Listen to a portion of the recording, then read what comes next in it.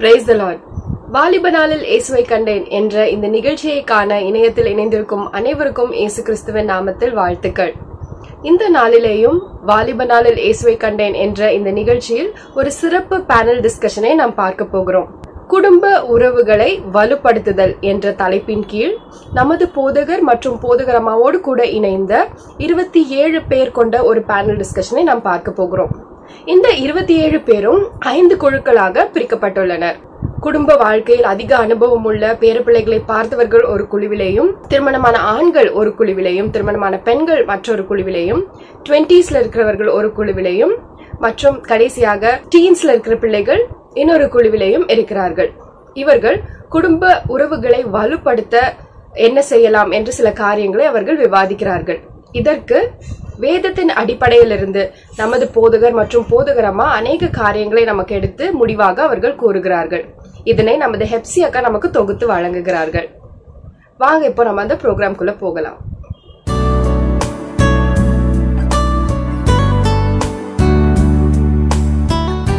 So இன்றைக்கி நம்ம எல்லாரும் ஒரு குழு விவாதத்தை காண பங்கெடுக்க நம்ம வந்திருக்கிறோம். நம்ம வேதத்தில் பார்க்கும் பொழுது முதல் குடும்பத்தையே கர்த்தர் தான் தேவன் தான் நிறுவினார் அப்படின்னு நம்ம பார்க்குறோம். ஆதாம படைத்தார் ஏவாள ஆதாம் இடத்துல கூட்டி கொண்டு வந்தார். அது மாத்திரமல்ல பிள்ளைகள் கர்த்தரால் வரும் சுதந்திரம் அப்படின்னு நமக்கு தெரியும். கற்பத்தின் கனி அவரால் கிடைக்கும் பலன் அப்படின்றத நம்ம அறிந்திருக்கிறோம். கர்த்தருக்கு பயந்து ஒரு மனிதன் ஜீவிப்பானே ஆனால் கர்த்தர் அவனுக்கு கொடுக்குற ஒரு ஆசிர்வாதம் நீ உன் பிள்ளைகளின் பிள்ளைகளை காண்பாய். ஸோ நம்ம குடும்பம் அப்படின்னு பார்த்தா the nuclear of the family husband and wife அவங்கள ஆரம்பிக்கிறது பிள்ளைகள் பெற்றோர் கிராண்ட் பேரண்ட்ஸ் இதெல்லாம் சேர்ந்து கர்த்தர் ஒரு குடும்பத்தை ஆசிர்வதிக்கிறத நம்ம பார்க்குறோம். இது கர்த்தருடைய ஒரு பிளான் கர்த்தருடைய தீர்மானம். இன்னைக்கு அநேக பேர் வந்து குடும்பத்தை ஒரு பாரமாக எல்லா பிரச்சனைக்கும் காரணமாக குடும்பத்தை அவங்க பார்க்குறாங்க. ஆனால் கர்த்தர் நிறுவின ஒரு கர் God instituted the family he brought Adam and Eve together பிள்ளைகளை கர்த்தராக கொடுத்தாரு. யா எல்லாவற்றையும் நம்ம தெரிந்தெடுக்க நமக்கு உரிமை இருக்கு. ஆனால் யாராலையும் நம்மளுடைய பேரண்ட்ஸ் என்ன செய்ய முடியாது? தெரிந்தெடுக்க முடியாது. கர்த்தர் அருமையான பெற்றோரை கொடுத்தாரு. அதே போல் கிராண்ட் பேரண்ட்ஸை கர்த்தர் கொடுத்துருக்கார். பிள்ளைகளின் பிள்ளைகளை நீ காண்பாய் அப்படின்றதே ஒரு ஆசிர்வாதம் அப்படின்றத நம்ம வேதத்தில் பார்க்குறோம். ஆரோனின் குடும்பத்தாரை கர்த்தர் ஆசிர்வதிக்கிறார். இஸ்ரவேலின் குடும்பத்தாரை கர்த்தர் ஆசீர்வதிக்கிறார் அப்படின்னு சொல்லி பார்க்குறோம்.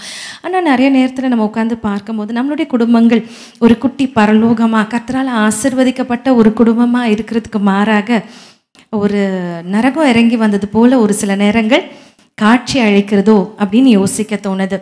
ஒரு சிறிய கதை நமக்கெல்லாம் தெரியும். பரலோகத்தின் காட்சி நரகத்தின் காட்சி ஒரு காம்படிஷன் இருக்குது தேவதூதர்களுக்கும் குட்டி பிசாசுகளுக்கும் ஒரு காம்படிஷன் வைக்கிறாங்க. அது என்ன காம்படிஷன்னா ஒரு பெரிய பாத்திரத்தில் பாயாசம் இருக்குது சரியா பரலோகத்தில் ஏஞ்சல்ஸோடைய கரங்கள் எல்லாத்தையும் ஒரு பெரிய துடுப்பு போன்ற ஒரு பெரிய கரண்டியை கட்டி விட்டுடுறாங்க. அதே மாதிரி இந்த நரகத்தில் இருக்கிற இந்த குட்டி பிசாசுகளுடைய கையிலையும் ஒரு பெரிய கரண்டி கட்டிவிடப்பட்டிருக்கு இப்போ என்ன காம்படிஷனாக இந்த பாயாசத்தை எவ்வளோ நேரத்துக்குள்ளே எல்லாரும் குடிக்க போகிறாங்க அப்படின்னு சொல்லி ஒரு காம்படிஷன் உடனே முதல்ல நரகத்தில் இந்த காம்படிஷன் ஆரம்பிக்குது. ஆரம்பித்த உடனே அங்கே இருக்கிற குட்டி பிசாசுக்கெல்லாம் என்ன செய்கிறாங்க அந்த பாயாசத்தை எடுத்து வேகமாக வேகமாக அவங்கவுங்க வாய்க்குள்ளே ஊற்ற பார்க்குறாங்க. அந்த கையில் பெரிய கரண்டி கட்டி கட்டி இருக்கிறதுனால கையை அவங்களால மடக்க முடியல. அவங்க எடுக்க ஊற்றுற பாயாசம் என்ன செய்யுது? மற்ற அவங்க மேலேயே ஊற்றிக்கிறாங்க தலையில் ஊற்றிக்கிறாங்க கீழெல்லாம் கொட்டி போகுது. நான் தான் எடுப்பேன் நீ தான் எடுப்பேன்னு சண்டை போட்டு முன்னால் போய் எடுக்கிறாங்க. பாராத்திரத்தை அந்த பாயாசம் கீழே கொட்டுது. ஒரு ஒரு அலங்கோலமான ஒரு காட்சி. அவங்களுக்கு நேரம் முடிஞ்சிருச்சு.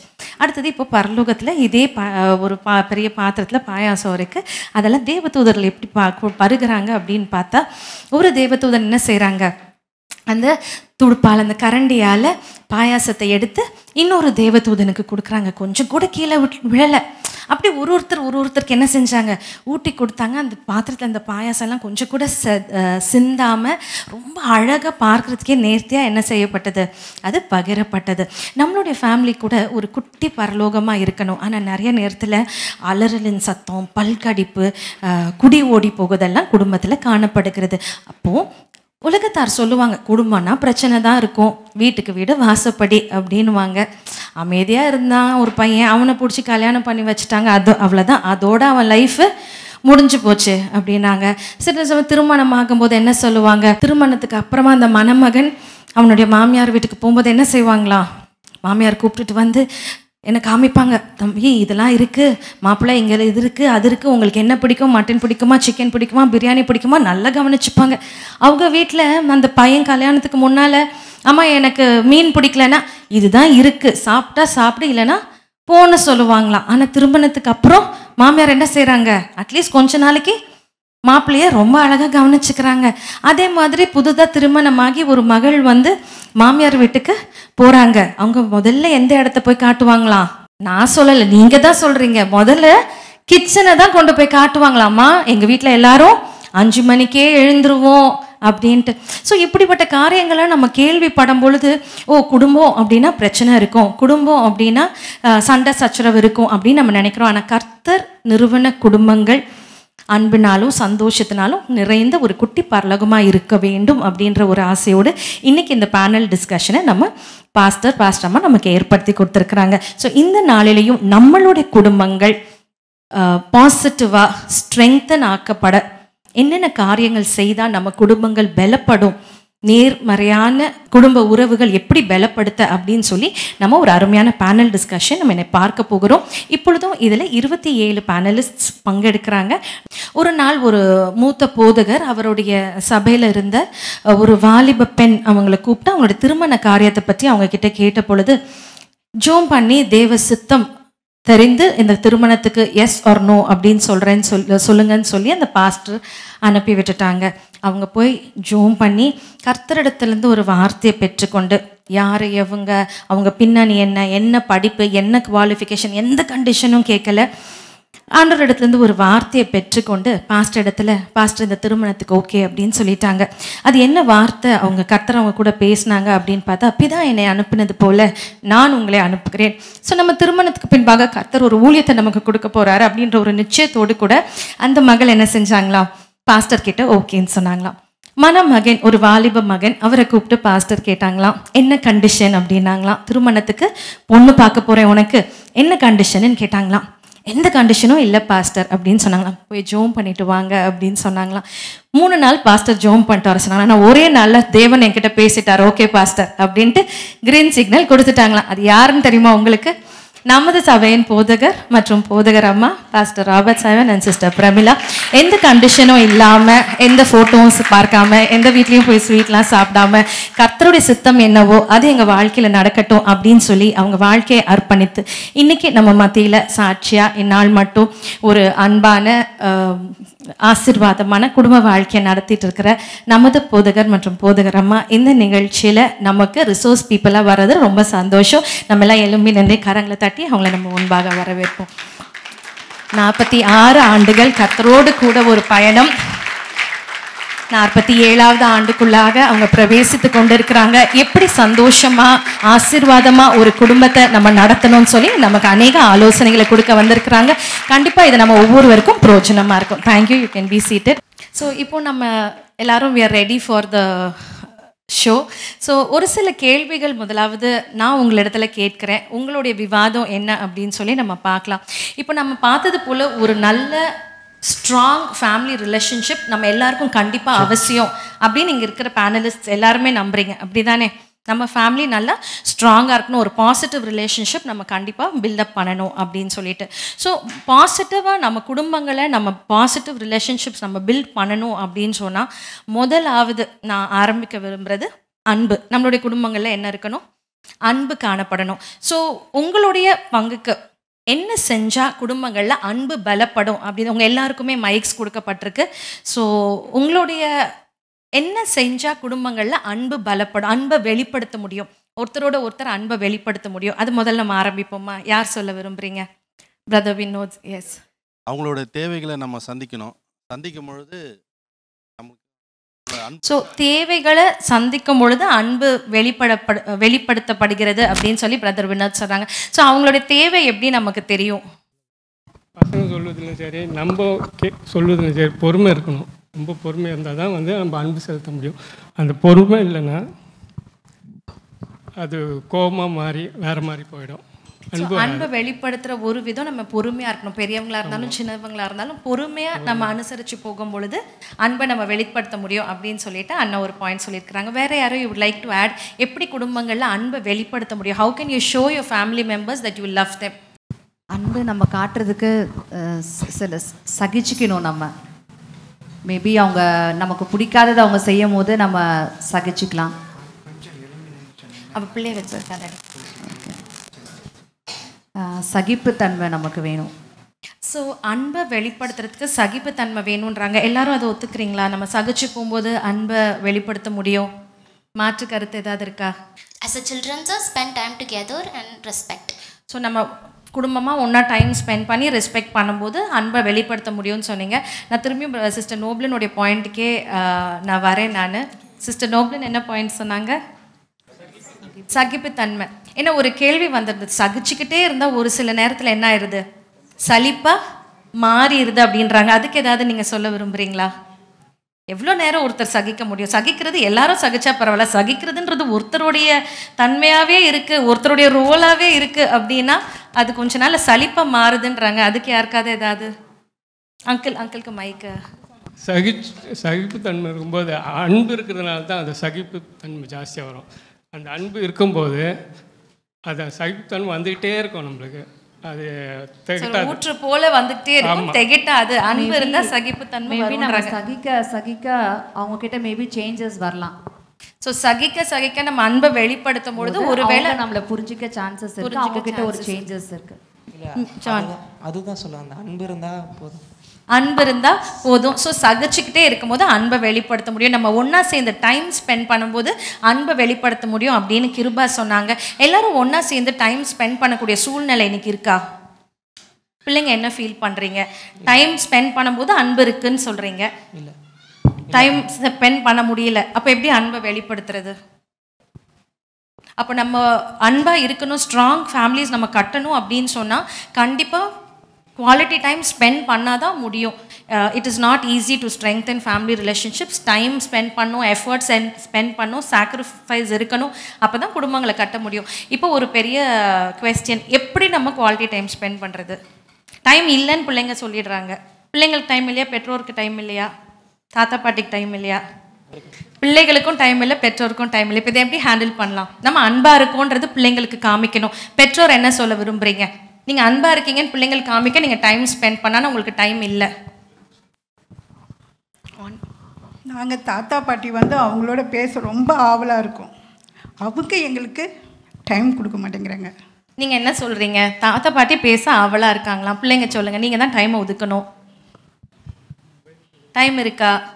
ஸோ தாத்தா பாட்டி அவைலபிளாக இருக்கும்னு சொல்லிட்டாங்க. பேரண்ட்ஸ் என்ன சொல்ல விரும்புறீங்க? நீங்கள் எப்படி டைம் ஸ்பெண்ட் பண்ணும் பிள்ளைங்க ரொம்ப ஆசையாக இருக்காங்க பேரண்ட்ஸோட டைம் ஸ்பெண்ட் இல்லை பண்ணுறதுக்கு இந்த சின்ன ஆக்டிவிட்டி இப்போ நம்ம ஒரு டைன் பண்ணுறதுனாலும் ஒன்றா சேர்ந்து இந்த சின்ன சின்ன மூமெண்ட்ஸை நம்ம யூஸ் பண்ணிக்கிட்டாலே ஒரு குவாலிட்டி டைம் ஸ்பெண்ட் பண்ணலாம்.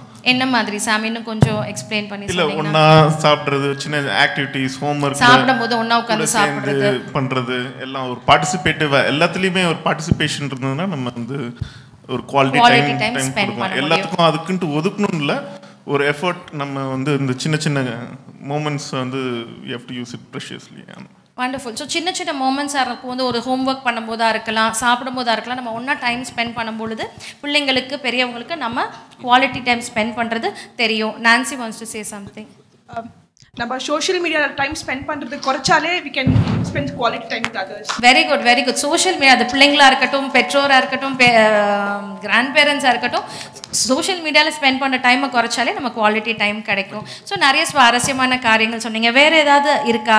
எப்படி அன்பை வெளிப்படுத்துறது? பிரதர் வினோத் சொன்னாங்க தேவைகளை சந்திக்கும் பொழுது அன்பை வெளிப்படுத்த முடியும். இப்போ பெற்றோருக்கு பிள்ளைகளுடைய தேவை என்னன்றது தெரியுமா? பிள்ளைகளுக்கு பெற்றோருடைய தேவை என்னன்றது தெரியுமா? கிராண்ட் பேரண்ட்ஸ்க்கு புரிஞ்சுக்க முடியுமா? ஸோ டைம் ஸ்பெண்ட் பண்ணும்போது நம்ம என்ன செஞ்சுக்கலாம்? கேட்டு தெரிஞ்சுக்கலாம். நம்ம டைம் ஸ்பெண்ட் பண்ணும்போது அவங்களுக்கு என்ன தேவை அப்படின்றது தெரிஞ்சுக்கலாம். பிள்ளைகள் சிறு பிள்ளைகள் வாலிப பிள்ளைகளுக்கு ஒரு குற்றச்சாட்டு. பெரியவங்க எங்களை புரிஞ்சிக்கவே மாட்டேன்றாங்க. எங்களுக்கும் அவங்களுக்கும் நிறைய ஏஜ் கேப் இருக்குன்னு சொல்றாங்க. நீங்க எப்படி அவங்க இடத்துல அன்பை காமிக்க முடியும்? அவங்க பெற்றோர் கூட அவ்வளோ கேர் எடுக்க மாட்டாங்க. ஆனால் நாங்கள் அவ்வளோ அன்பாக இருக்கோம் அவ்வளோ கேர் எடுக்கிறோம். அவங்க என்ன பண்ணுறாங்கன்னா ஒருத்தருக்கு தேவைகளை சந்திக்கும்போது எல்லாருக்கும் நாலு பேர் இருக்காங்கன்னா நாலு பேருக்கு சந்திக்க முடியாது.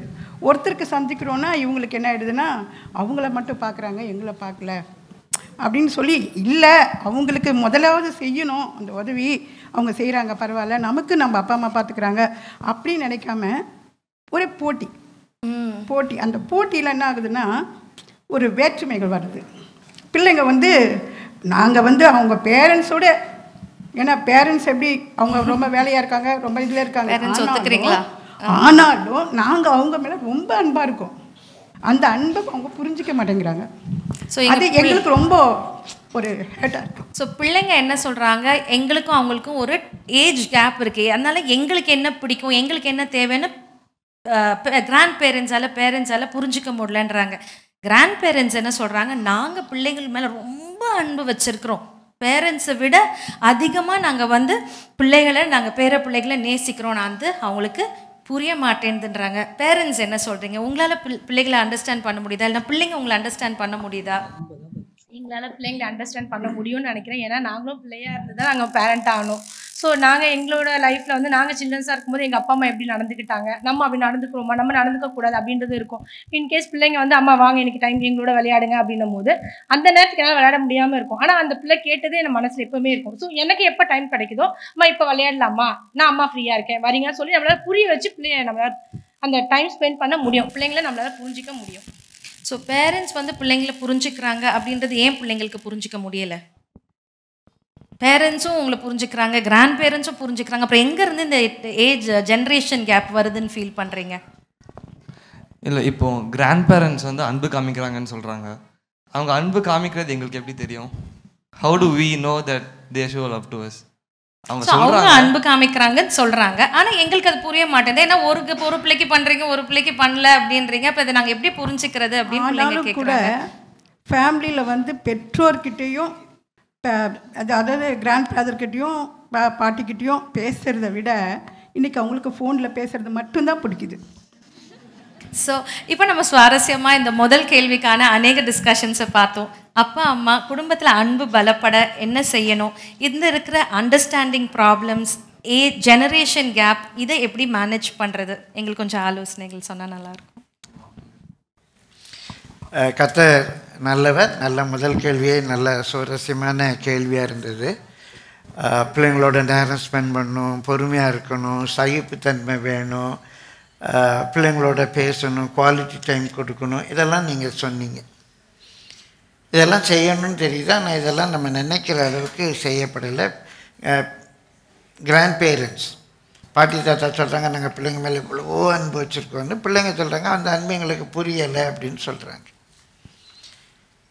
முதலாவது நான் ஒன்று சொல்கிறேன் நமக்கு அன்புனா என்னன்னு புரிஞ்சுக்கணும். இந்த அன்பு என்று சொல்லுவது ஏதோ ஒரு எதிர்பார்ப்போடு கூட. இப்போ பாட்டி சொல்கிறாங்க நான் சொல்கிறது என் பிள்ளை என் பேரப்பிள்ளை கேட்கணும். ஒரு எதிர்பார்ப்பு. அவங்க என்ன சொன்னாலும் நான் சகிக்கணும். ஒரு எதிர்பார்ப்பு. எல்லாவற்றிலும் இந்த அன்பில் ஒரு எதிர்பார்ப்பை நம்ம அட்டாச் பண்ணுறோம் என் பிள்ளை என்னை புரிஞ்சுக்கணும். எங்கள் தா அப்பா என்னை புரிஞ்சுக்கணும்.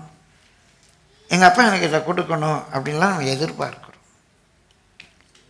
அப்படி எதிர்பார்க்கும்போது நாம் எதிர் மற்றவங்க எதிர்பார்க்குற அளவுக்கு நம்மளால் செய்ய முடியலை. அப்போ அன்பு என்பது எதிர்பார்க்கிறது இல்லை முதலாவது அன்புங்கிறது நம்ம நேச்சராக மாறணும். இந்த அன்பு எப்படி என்னுடைய நேச்சராக மாறும்?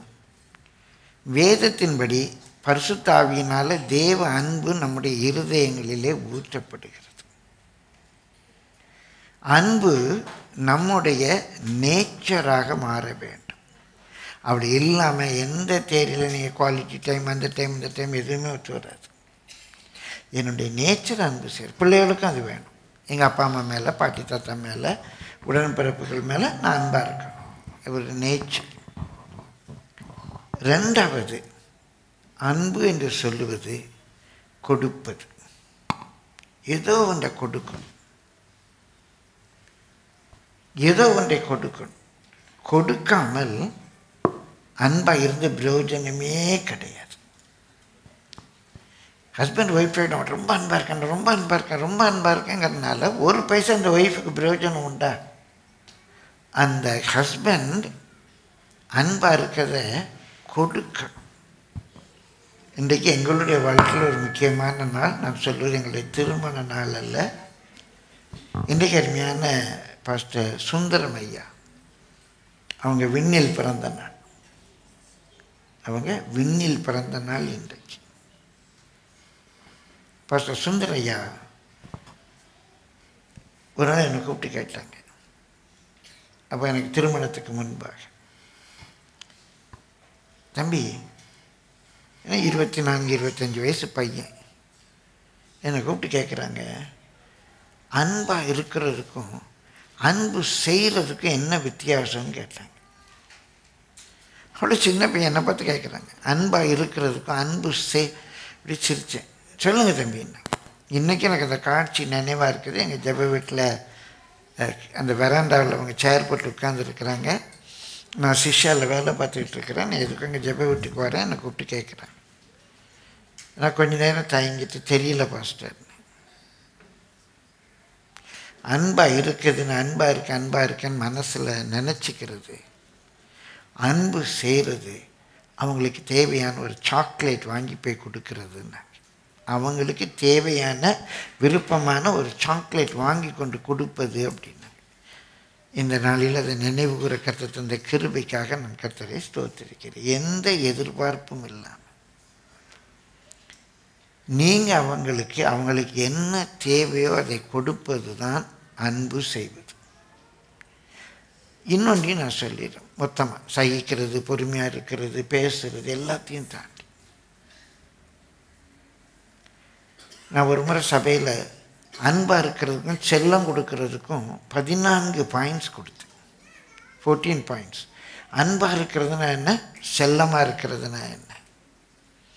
அன்பு என்பது யாருக்கு என்ன தேவையோ அதை கொடுப்பது அன்பு. செல்லமாக இருப்பது அவங்க என்ன கேட்குறாங்களோ அதை கொடுப்பது அன்பு செல்லம். திரும்ப சொல்கிறேன் அன்புங்கிறது யாருக்கு என்ன தேவையோ அதை கொடுப்பது அன்பு. பிள்ளைக்கு ஃபோன் தேவை அப்படின்னா அந்த ஃபோனை கொடுப்பது அன்பு.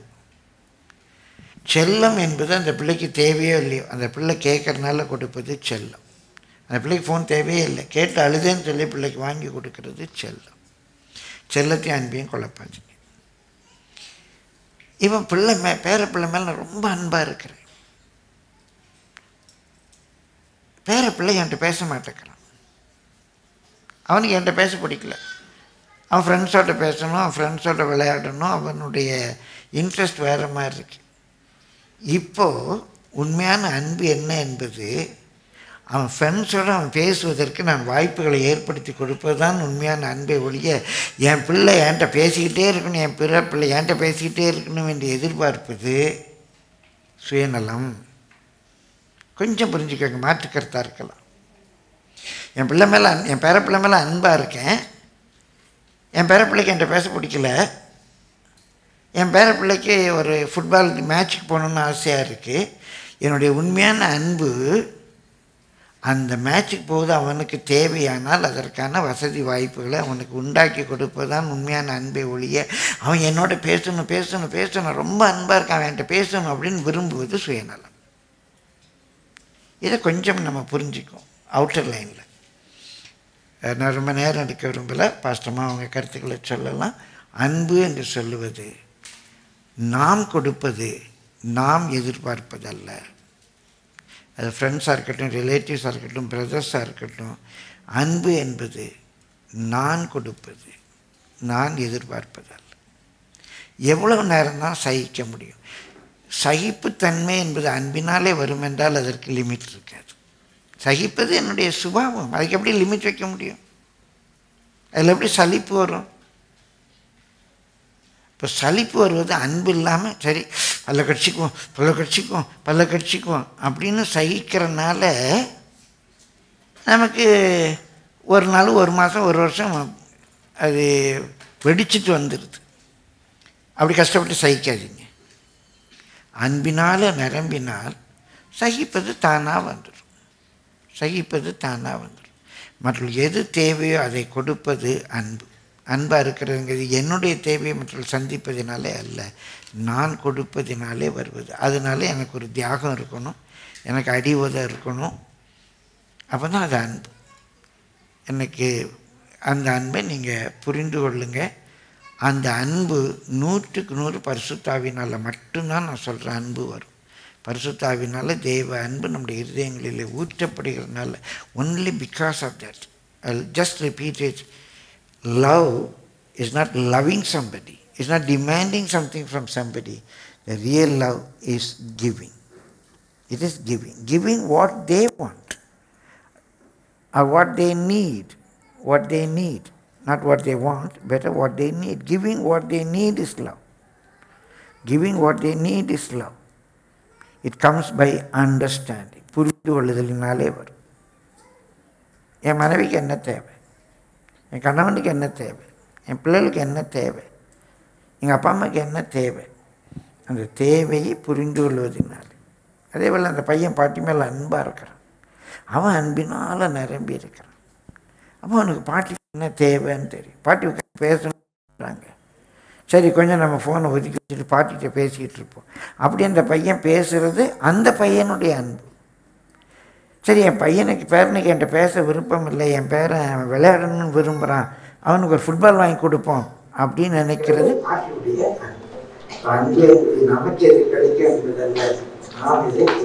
என்பதை சார்ந்தது. அப்படி தான் நான் நினைக்கிறேன்.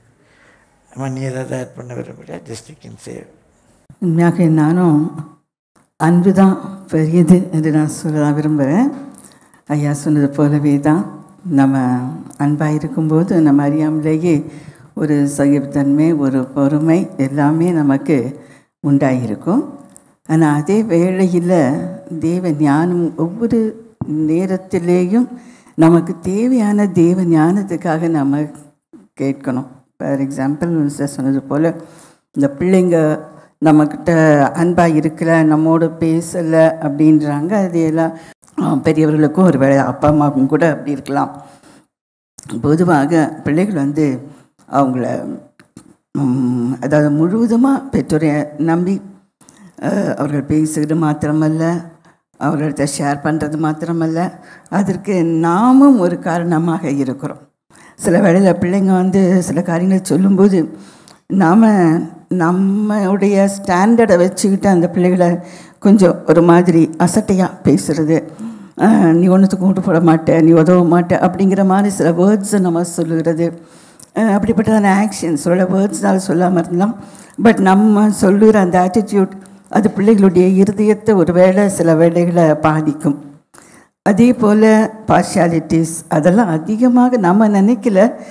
மன்னிக்க நினைக்க முடியாது. ஆனால் அந்த பிள்ளைகளுக்கு அது எவ்வளோ பாதிப்பை உண்டாக்கும் அப்படிங்கிற ஒரு ஞானம் நமக்கு தேவையாக இருக்கிறது. யாராக இருந்தாலும் பிள்ளைகளாக இருந்தாலும் பெற்றோராக இருந்தாலும் கூட பிள்ளைகளும் அப்பா அம்மா நம்மகிட்ட எதிர் எது எதிர்பார்க்குறாங்க அப்படிங்கிற ஒரு நல்ல ஞானத்தோடு அந்த அண்மையும் சேர்த்து நடந்து கொள்ளுகிறது நல்லது. ஆகியனால மற்றவர்களை நம்ம அண்டர்ஸ்டாண்ட் பண்ணணும். அவங்களுடைய ஃபீலிங்ஸை அண்டர்ஸ்டாண்ட் பண்ணணும். அதே வேளையில் நம்ம சொல்கிற காரியங்களுக்கு எப்படிப்பட்டதான ஒரு ரியாக்ஷன் இருக்கோங்கிறத நம்ம நினைக்க வேண்டும். நம்ம ஏதோ ஒரு நன்மை செய்ய நினைக்கிறோம் நான் செஞ்சு செஞ்சிட்டோம். அது நமக்கு திருப்தியாக இருந்துடக்கூடாது. அந்த நன்மையிலேயும் அந்த பிள்ளையோ அல்லது வேறு யாரையோ பெற்றோரையோ இப்போ நான் என் பேர் பிள்ளைக்கு ஒரு காரியம் செய்கிறேன் என்றால் அது அவங்க பெற்றோரை என்ன செய்யக்கூடாது? பாதிக்கக்கூடாது. அவங்களோட அந்த பிள்ளைக்கு அதை வேண்டான்னு சொல்லியிருப்பாங்க. நான் அதை வாங்கி கொடுப்பேன்னா அது யார்? அவங்க பிள்ளைய? அவங்க ஒரு வளர்த்தியில் வளர்த்திட்டு இருக்காங்க அவங்களுக்கு ஆண்டவர் ஒரு வெளிச்சம் கொடுத்துருக்காரு. அப்போ அதுக்கு நான் இடரலாக இருப்பேன். அதில் எந்த ஒரு காரியமாக இருந்தாலும் சரி பெற்றோர் இன்னும் தாத்தா பாட்டி முதியவர்கள் எல்லாருமே தேவ ஞானத்தோடு கூட இந்த அன்பையும் நம்ம கூட்டி வழங்க வேண்டியவர்களாக இருக்கிறோம். அதுதான் என்னுடைய பாயிண்ட் இந்த குவாலிட்டி டைமை பற்றி ஒரு வார்த்தை நான் சொல்ல விரும்புகிறேன் தம்பி கிறிஸ்டி த மகள் ஹெப்சி அவங்க பிறந்த நாட்களில் நான் உலக பிராரமான வேலை செய்து கொண்டிருந்தேன். ஒரு மாதத்துக்கு இருபத்தாறு மீட்டிங்ஸ்லாம் பேசினேன்னு சொல்லியிருக்கிறேன். எங்கள் அப்பா ஒரு வார்த்தை ஒரு நாள் சொன்னது எனக்கு நினைவு இருக்குது நான் நைட்டில் மீட்டிங் முடிச்சுட்டு வரும்போது பிள்ளைங்க தகப்பன் முகம் தெரியாத பிள்ளைகளை வளருது அப்படின்னு சொன்னாங்க. ஏன்னா நான் வீட்டுக்கு வந்து சேர பத்து பத்தரை பதினொன்று ஆகிடும் அதுக்குள்ளே அவங்க தூங்கிடுவாங்க காலையில் இருந்து டியூஷன் எடுப்பேன். காலை ஸ்கூலுக்கு ஓடுவேன். அதனால் பிள்ளைங்களோடு கூட பேசுவதற்கென்று அதிகமான நேரம் இருந்ததில்லை. ஆனால் நாங்கள் செய்த ஒன்றை நான் சொல்கிறேன் வருஷத்துக்கு ஒரு முறை இல்லைன்னா ரெண்டு முறை நாங்கள் ஃபேமிலியாக வெளியே போவோம். ஒன்லி நியூக்ளி ஃபேமிலி எங்கள் ஃப்ரெண்ட்ஸுடைய ஃபேமிலி ரிலேட்டிவ்ஸுடைய ஃபேமிலி அப்படிலாம் சேர்ந்தில்ல நாங்கள் நான்கு பேர் மாத்திரம் போவோம். நாங்கள் நான்கு பேர் மாத்திரம். திருப்பத்தூர் ஆசிரமம் போயிருக்கிறோம். பல இடங்களுக்கு போயிருக்கிறோம். சில கெஸ்ட் ஹவுஸில் போயிருப்போம். உட்காந்து பிள்ளைகளோடு கூட பேசிக்கொண்டு விளையாண்டு கொண்டு ஒரு மூணு நாள் டுவெண்ட்டி ஃபோர் ஹவர்ஸ் அவங்களோடு கூட. அவங்களோடு கூட டைம் ஸ்பெண்ட் பண்ணுவோம். நீங்கள் இந்த குவாலிட்டி டைமை கண்டிப்பாக டெவலப் பண்ணுங்கள் ரெண்டு காரியங்கள் சுருக்கமாக சொல்லிடுறேன். ஒன்று அந்த டைமில் பிள்ளைங்களுக்கு ஒரு சின்ன கேம் வைப்பேன். என்ன கேம்னா என்னை பற்றி. அவங்க ஒரு மூணு குட் ஸ்டேட்மெண்ட்ஸ் எழுதணும். சொல்லணும். ரெண்டு பேரும் உட்காந்து என்னை பற்றி ரெண்டு மூணு குட் ஸ்டேட்மெண்ட்ஸ் சொல்லணும். என்கிட்ட பிடிக்காத என்கிட்ட பிடிக்காத ரெண்டு காரியங்கள் அவங்க எங்களுக்கு சொல்லணும். டேடி இது உங்கள்கிட்ட பிடிக்கல அப்படின்னு சொல்லி அவங்கள சொல்ல வைப்பேன். இப்படி ஒரு விளையாட்டு விளையாடும். என்னால் அந்த பிள்ளைகளுடைய மனதை தெரிந்து கொள்வதற்கு வாய்ப்பு கிடைத்தது. ஒவ்வொரு வருஷம் ரெண்டு மூன்று நாட்கள் டுவெண்ட்டி ஃபோர் ஹவர்ஸ் பிள்ளைங்களோடு கூட. ரெண்டாவது எங்களுடைய காரியம் என்ன? எங்களுடைய பண நெருக்க சூழ்நிலை என்ன? எங்களால் என்ன செய்ய முடியும்? எங்களால் என்ன செய்ய முடியாது? இப்போ எங்கள் சுச்சுவேஷன் என்ன? எல்லாம் சின்ன பிள்ளைகளாக இருக்கும்போதே அவங்களோடு கூட நாங்கள் பேசுவோம். தெய்வ சமூகத்திலேருந்து சொல்கிறேன் எங்களால் செய்ய முடியாத ஒன்றை எங்கள் ரெண்டு பிள்ளைகளும் கேட்டதே கிடையாது. எங்களுக்கு என்ன முடியும் என்ன முடியாதுன்னு எங்கள் பிள்ளைங்களுக்கு தெரியும். பேசுவோம். So the quality time is very very important ஒரு சின்ன அனுபவம் மாத்திரம் சொல்லி நான் மாடரேட்டர்கிட்ட விடுறேன். ஒரு முறை நாங்கள் ஒக்கனைக்கல் போயிருந்தோம். ஹெப்சிக்கு அது நினைவு இருக்கணுமோ தெரியல. ஒக்கனைக்கல் பரிசலில் ஏறி நாங்கள் சொன்னோம் எங்களை ஒரு ஒதுக்குப்புறமான இடத்துல விட்டுருப்பா. போயிட்டு ரெண்டு மணி நேரம் கழித்து வாப்பான்னு. எல்லாம் சுற்றி பார்க்க போவாங்க. நாங்கள் என்ன கேட்டோம் எங்களை ஒரு ஒதுக்குப்புறமான இடத்துல விட்டுருங்க. ரெண்டு மணி நேரம் கழிச்சு வான்னு சொன்னோம். என்ன சார்? இல்லை நாங்கள் just we want to spend time together அதனால நல்ல ஒதுக்குப்புறமான ஒரு இடத்துல விட்டுட்டு ரெண்டு மணி நேரம் கழித்து வாப்பான்னு சரின்னு கொண்டு போய் அப்படியே அந்த பரிசலில் கொண்டு போய் ஒரு ஒதுக்குப்புறமான இடத்துல விட்டான். நாங்கள் இறங்கும்போது அவன் சொன்னான் இங்கே தான் அடிக்கடி வீரப்பன் வந்துட்டு போவாருன்னு. அதே மாதிரி ஒரு முறை நாங்கள் ஊட்டி அவலாஞ்சிக்கு போகிறோம் நாலு பேரும் தனியாக ஏழு கிலோமீட்டர் நடக்கணும். ஜீப்பில் போயிட்டு ஜீப்லேருந்து இறங்கி ஏழு கிலோமீட்டர் நடக்கணும். தனியாக நாலு பேர். ஒரு கைடு பரவாயில்ல. பாஸ்டர்மா செருப்பு இருந்து போச்சு. சின்ன சின்ன இதெல்லாம் பாறையெல்லாம் தாண்டி போட்டு நான் த்ரில்லிங் எக்ஸ்பீரியன்ஸ் போகும்போது அங்கே ஒரு மிருகத்தினுடைய கால் தடம் தெரிஞ்சது. ஒன்று இந்த ரெண்டும் சேர்ந்து ஃபோட்டோ எடுக்குது. அந்த மிருகத்தினுடைய கால் தடத்தை. அப்போ தான் மழை பெஞ்சு ஓஞ்சி இருக்குது. அந்த படத்தை ஃபோட்டோ எடுக்கும்போது கைடு சொன்னார். இது இந்த வழியாக தான் சிறுத்தை போயிருக்குது. போன வழியாக தான் சிறுத்தை வரும் அப்படின்னார். அவலாஞ்சி போயிட்டோம். அங்கே ஒரே ஒரு டென்ட் போட்டிருக்கு எங்கிட்ட கைடு சொல்கிறாரு இந்த டென்ட்டில் தான் ஒரு ஒரு ஃபாரினர் தங்கியிருந்தார். மூணு நாள் சிறுத்தை வந்து வெளியே பத்து படுத்துச்சு. அவரால் வெளியே வரவே முடியல. ரெண்டு நாளைக்கு முன்னால் தான் அந்த சிறுத்தை போச்சுது. அதுக்கப்புறம் தான் அவர் வெளியே வந்தாருன்னார் த்ரில்லிங்காக இருந்துச்சு. நாங்கள் நாலே பேர். நாங்கள் நாலே பேர். இப்படி உங்கள் பிள்ளைகளோடு கூட டைம் ஸ்பெண்ட் பண்ணுங்கள் பிரியமானவர்களே பெற்றோர் பெற்றோர் என்று சொல்றது நம்ம பிள்ளைகளை பெற்றெடுத்தவர்கள் அல்ல. தமிழ் சொல் அருமையான சொல் வேதத்துக்கு ஒத்த சொல். பிள்ளைகளை நாம் ஈவாக கிஃப்டாக பெற்றவர்கள். நம்ம பிள்ளைங்களை பெற்று போட்டோம் என்றதல்ல. பிள்ளைங்க தான் நமக்கு கிடைச்சிருக்கிற கிஃப்ட் நம்ம பிள்ளைகளை பெற்றவர்கள். நமக்கு ஒரு கிஃப்டாக பெற்றிருக்கிறோம். நமக்கு ஆண்டவர் கிஃப்ட் கொடுத்துருக்காரு. அதை நம்ம சரியாக ஹேண்டில் பண்ணுவோம் எஸ்எஃப்சி தேங்க்யூ அப்பா ஸோ இப்பொழுது நம்மளுடைய பேனலிஸ்ட்ஸ் uh, இதனை uh, பார்ட்டிசிபேட் பண்ணியிருக்கிற ஒவ்வொருவரும் நம்ம எப்படி நம்மளுடைய குடும்பத்தை பலப்படுத்துறதுக்கு அன்பை ஒருவருக்கு ஒருவர் நம்ம காட்டணும் அப்படின்றதுல நம்ம ஒரு தெளிவை நம்ம பெற்றிருப்போம் அப்படின்னு சொல்லி நான் நினைக்கிறேன். ஸோ பிள்ளைகள் வந்து நம்ம பெற்றோர் இடத்துல நம்ம அன்பை எப்படி வெளிப்படுத்தணும்? நம்ம கிராண்ட் பேரண்ட்ஸ்கிட்ட எப்படி வெ- அன்பை வெளிப்படுத்தணும்? ஹஸ்பண்ட்ஸ் ஒய்ஃப் கிட்ட எப்படி அன்பை வெளிப்படுத்தணும்? ஒய்ஃப்ஸ் ஹஸ்பண்ட்ஸ் கிட்ட பிள்ளைகள்கிட்ட எப்படி அன்பை வெளிப்படுத்தணும்? கிராண்ட் பேரண்ட்ஸ் நீங்கள் எப்படி பிள்ளைகள் இடத்துல பெ பேர பிள்ளைகள் இடத்துல ஹஸ்பண்ட்ஸ் இடத்துல ஒய்ஃப்ஸ் இடத்துல அன்பை வெளிப்படுத்தணும் அப்படின்னு சொல்லி இங்கே பார்த்துட்டு இருக்க எல்லாருக்கும் ஒரு தெளிவு கிடச்சிருக்கும் அப்படின்னு நினைக்கிறேன். நம்ம அடுத்த ஒரு செக்மெண்ட் போகிறதுக்கு முன்னால் யாராவது ஒருத்தருக்கு இன்னும் இதில் ஒரு கிளாரிட்டி இருக்குது ஒரே ஒரு கேள்விக்கு நான் டைம் கொடுக்குறேன். யாராவது ஒருத்தர் ஆடியன்ஸில் இருந்தோ இல்லை பேனலில் இருந்தோ கேட்க விரும்புகிறீங்களா பாஸ்டர் டெல்னா பாஸ்டர் அம்மா கிட்ட. ஆனந்த்? இல்லைங்கப்பா நீங்கள் அன்பு இருந்தால் சகிப்புத்தன்மை நேச்சுரல் ஹேபிட்டாகவே மாறிடும் அப்படின்னு சொன்னீங்க நீங்கள் இப்போ இன்றைக்கி காலகட்டத்தில் பிள்ளைங்களை வளர்க்குறப்ப நம்ம எவ்வளோ சகிப்புத்தன்மையோடு இருந்துடலாம். நம்ம காட்டுற சகிப்புத்தன்மை அவங்களுக்கு வெளியில் உலகத்தில் கிடைக்காது. அது அவங்கள வீக் ஆக்கிறதா? அன்பு செல்லம் ரெண்டுக்குள்ள டிஃப்ரென்ஸ் நான் கொடுத்தேன். இன்னொன்று நான் பலர்கிட்ட சொல்லியிருக்கேன் என் பிள்ளைகள்ட்டையும் நான் சொல்லியிருக்கிறேன். ஒரு கோல்டன் ரூல் எல்லாரும் மனசில் வச்சுக்கோங்க. நாங்கள் சிஷியாவில் இருக்கும்போது அதுதான் எங்களுக்கு rule be kind be firm நீங்கள் அவங்க வந்து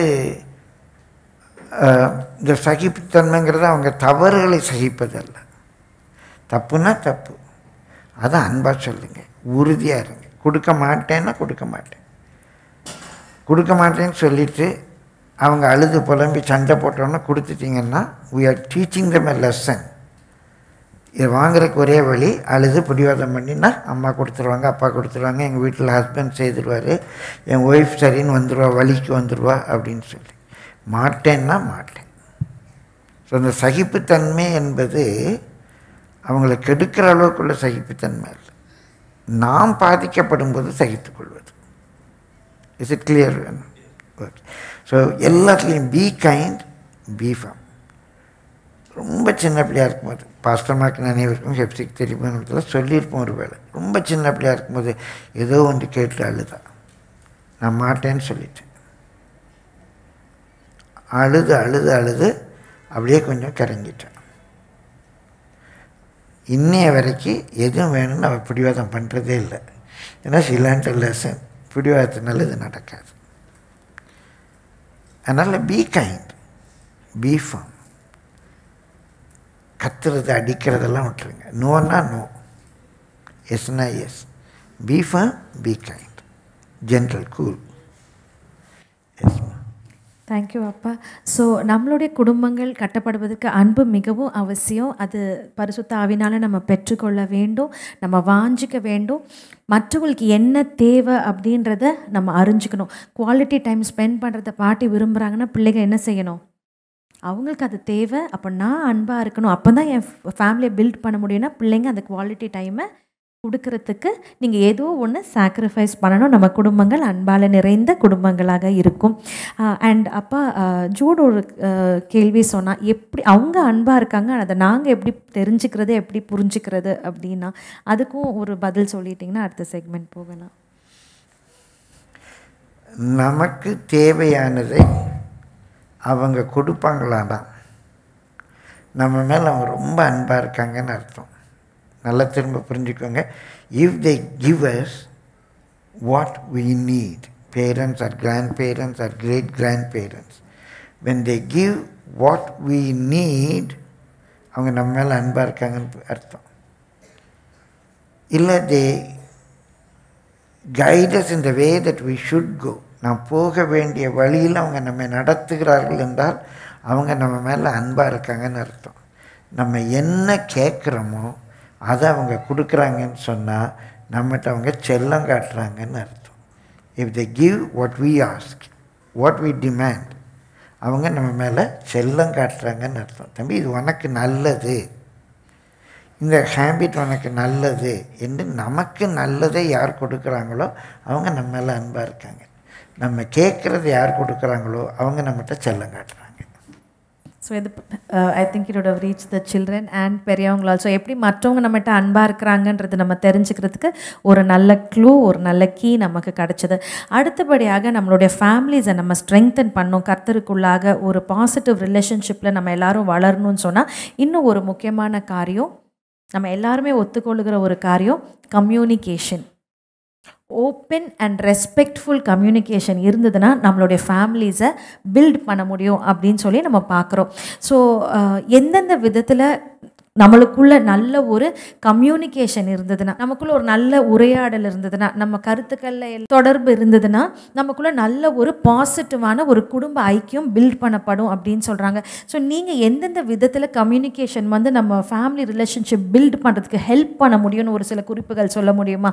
எப்படி நம்ம ஒருத்தரோட ஒருத்தர் ஷேர் பண்ணுறது பேசுறது இதெல்லாம் நம்ம ஃபேமிலி ரிலேஷன்ஷிப்பை பில்ட் பண்ணணும்? எப்போ பிரதர் சுந்தர்லால் நம்ம நம்ம ஃபேமிலியில் மற்றவங்களுக்கு டைம் கொடுக்கணும். You have to give time to them to come out and speak to us அது முதல் அவங்களுக்கு டைம் கொடுத்து இல்லை நம்ம சூப்பர்மிஸை காட்டக்கூடாது. நான் பேசுவேன் நீ கேளு அது மாதிரி பண்ண அவங்கக்கிட்ட பேச விடணும். ஃபஸ்ட்டு அவங்க பேசுங்க. என்னென்ன வேணும்? அவங்க அப்போ நம்மளுக்கு தெரிஞ்சுக்கலாம். வாட் தே வாண்ட் அப்படின்றது நம்ம புரிஞ்சுக்கின்னு அப்படி பண்ணும்போது நம்ம அப்போ நம்ம நம்ம சொல்கிறத அவங்க கேட்க ஆரம்பிப்பாங்க. அப்போ அந்த நல்ல ஒரு ஸ்ட்ராங் பில்டப் ஸோ நம்ம எப்படி நல்லா கம்யூனிகேட் பண்ணலான்னா மொத்தல மற்றவங்க நம்ம கிட்ட வந்து பேசுறதுக்கு நம்ம என்ன செய்யணும்? இடம் கொடுக்கணும். நம்ம பாட்டுக்கு நம்மளே எல்லாமே சொல்லிக்கிட்டு இருந்தா நான் சொல்கிறது தான் நீ கேட்கணும் அப்படின்னு சொன்னால் பிள்ளைகளோ மனைவியோ கணவரோ என்ன செய்ய மாட்டாங்க? அந்த இடத்துல வந்து கம்யூனிகேட் பண்ண மாட்டாங்க குவாய்ட் ஆகிடுவாங்க எப்போ ஏதோ சொல்லணும்னு விருப்பப்பட்டாப்புல?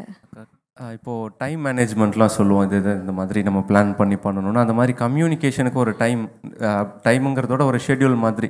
நான் பார்த்தேன்னா காலைல எழுந்த உடனே சாப்பிட்டீங்களா? ஓ, இன்னைக்கு எப்படி டே இருந்துச்சு? அந்த மாதிரி டெய்லி அதை கண்டிப்பாக விடாமல் அதை செஞ்சுட்டே இருந்தால் நல்லா இருக்கும்னு தோணுது. இன்னொன்று அந்த கம்யூனிகேஷன் பேசும்போது விசாரிக்கிறது. விசாரிக்கிறது அந்த கேர் எடுக்கிறது. அதை நிறுத்தவே கூடாது. ஏதோ வந்தால் போகணும் அப்படின்னு இல்லாமல் இன்னொன்று அதை செய்யும்போது மெதுவான பிரதி உத்திரம் அப்படி இருக்கணுன்ற வசனம்லாம் இருக்குது அந்த மாதிரி ஒரு சாஃப்டாக பேசுகிறது எரிச்சல் அடையக்கூடாது. அவங்களுடைய சூழ்நிலையை புரிஞ்சு அவங்களுடைய நிலைமையில இருந்து யோசித்து நம்ம அவங்களோட பேசணும் அப்படின்னா அந்த கம்யூனிகேஷன் இன்னும் கொஞ்சம் நல்லா இருக்கும். ஸோ நல்ல குறிப்பாக சொல்கிறாங்க நம்ம எப்படி கம்யூனிகேஷனை வந்து பலப்படுத்த முடியும் அப்படின்னு சொல்லி பார்த்தா நம்ம வந்து விசாரிக்கிறது பேசுறது எப்படி இருக்கிறீங்க? ஏன்னா நம்ம பாட்டுக்கு நம்ம உண்டு நம்ம வேலை உண்டு. அதுதான் அவங்க சாப்பிட்டாங்களே நமக்கு தெரியுமா தெரியும்ல? அப்படின்றத விட எப்படி இருக்கிற சாப்பிட்டியா என்ன பண்ண இப்படி நம்ம நம்ம பேசும்போது விசாரிக்கும் பொழுது அதே போல் ஒரு கருத்தை சொல்லும் பொழுது அதை பொறுமையாக கேட்குறது எரிஞ்சு விழாமல் கத்தாமல் இருந்தது இப்படிலாம் நம்ம செஞ்சோன்னா கம்யூனிகேஷன் பிரேக் ஆயிடுது ஆனால் பொறுமையாக நம்ம இருக்கும் பொழுது அடுத்தால நம்ம கம்யூனிகேட் பண்ண வைக்கிறோம் அப்படின்னு சொல்கிறாங்க வேறு நோபிள்? அவங்களுக்கு நம்ம மேலே ஒரு பயம் இருக்கக்கூடாது. ஸோ பயம் இல்லாதவரை நம்ம நடக்கணும். அவங்களுக்கு ஒரு கம்ஃபர்ட் ஜோன் கொடுக்கணும். அதே மாதிரி கொஞ்சம் அன்பாக பே அதாவது எப்படின்னா சில பேர் வந்து வந்த உடனே என்ன இப்போ வாட்டர் கேனை தொலைச்சிட்டியா? ஏன் தொலைச்ச? அந்த ஒரு அப்படி பேசக்கூடாது. எப்படிம்மா வாட்டர் கேன் தொலைஞ்சிச்சு? நீ கேர்லெஸ்ஸாக விட்டுட்டியா?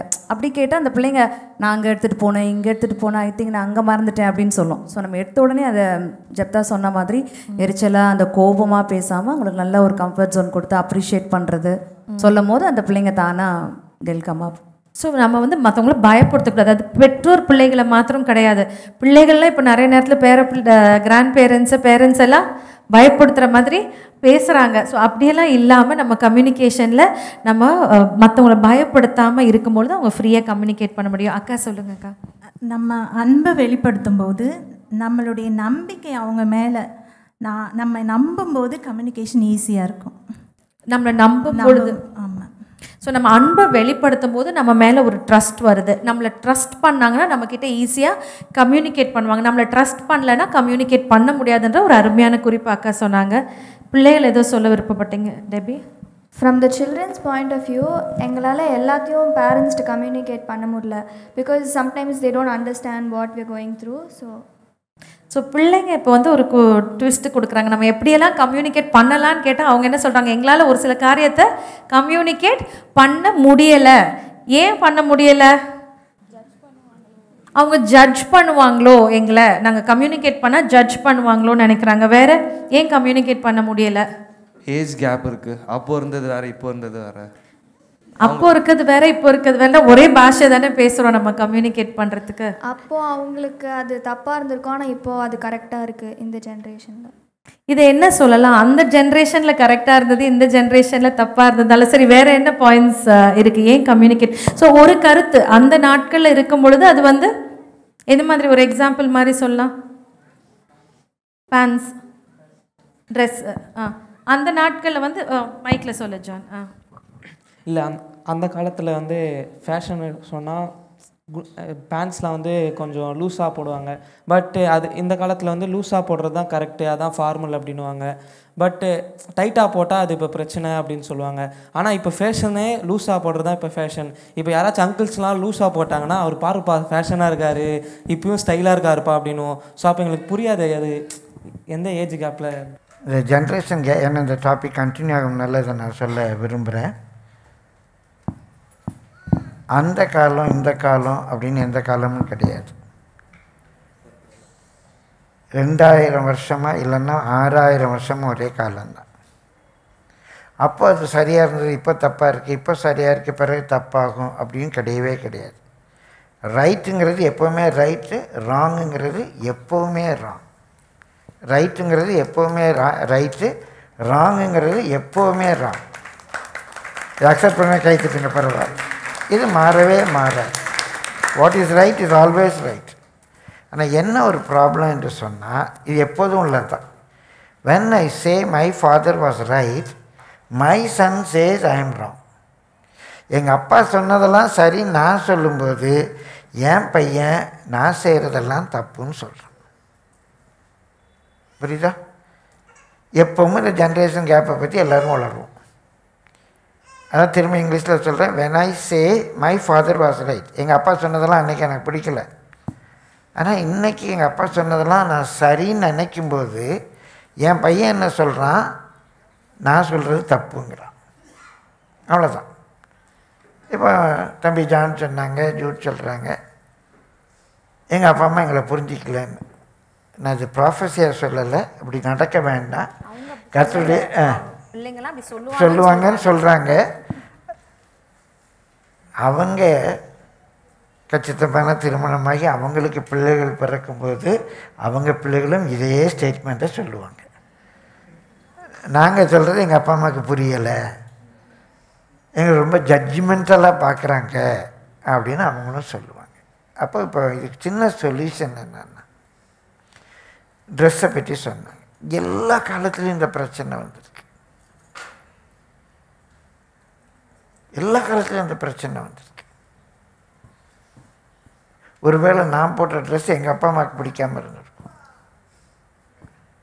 ஒரு காலம் மாறும்போது அந்த ட்ரெஸ் அக்செப்டபிள் ஆகிடும் ஆனால் இன்றைக்கி ஒருவேளை எங்கள் பிள்ளைகளை விற்றவங்களுக்கு நேரடியாக அந்த ப்ராப்ளம் வரல. இன்றைக்கி சில பிள்ளைங்க அவங்க பண்ணுற ட்ரெஸ்ஸிங் அவங்க அப்பா அம்மாவுக்கு பிடிக்காமல் இருக்கும். இது எல்லா காலத்துலேயும் உண்டு. எல்லா காலத்துலேயும் உண்டு. அப்போ எது சரி? நான் எப்படி ட்ரெஸ் பண்ணால் சரி? நான் எப்படி ட்ரெஸ் பண்ணால் சரி? அப்படி ட்ரெஸ் பண்ண. இன்றைக்கி எது ஃபேஷனில் ஃபேஷன் பாசஸ் அப்படி. ஃபேஷன் பாசஸ் அப்படி.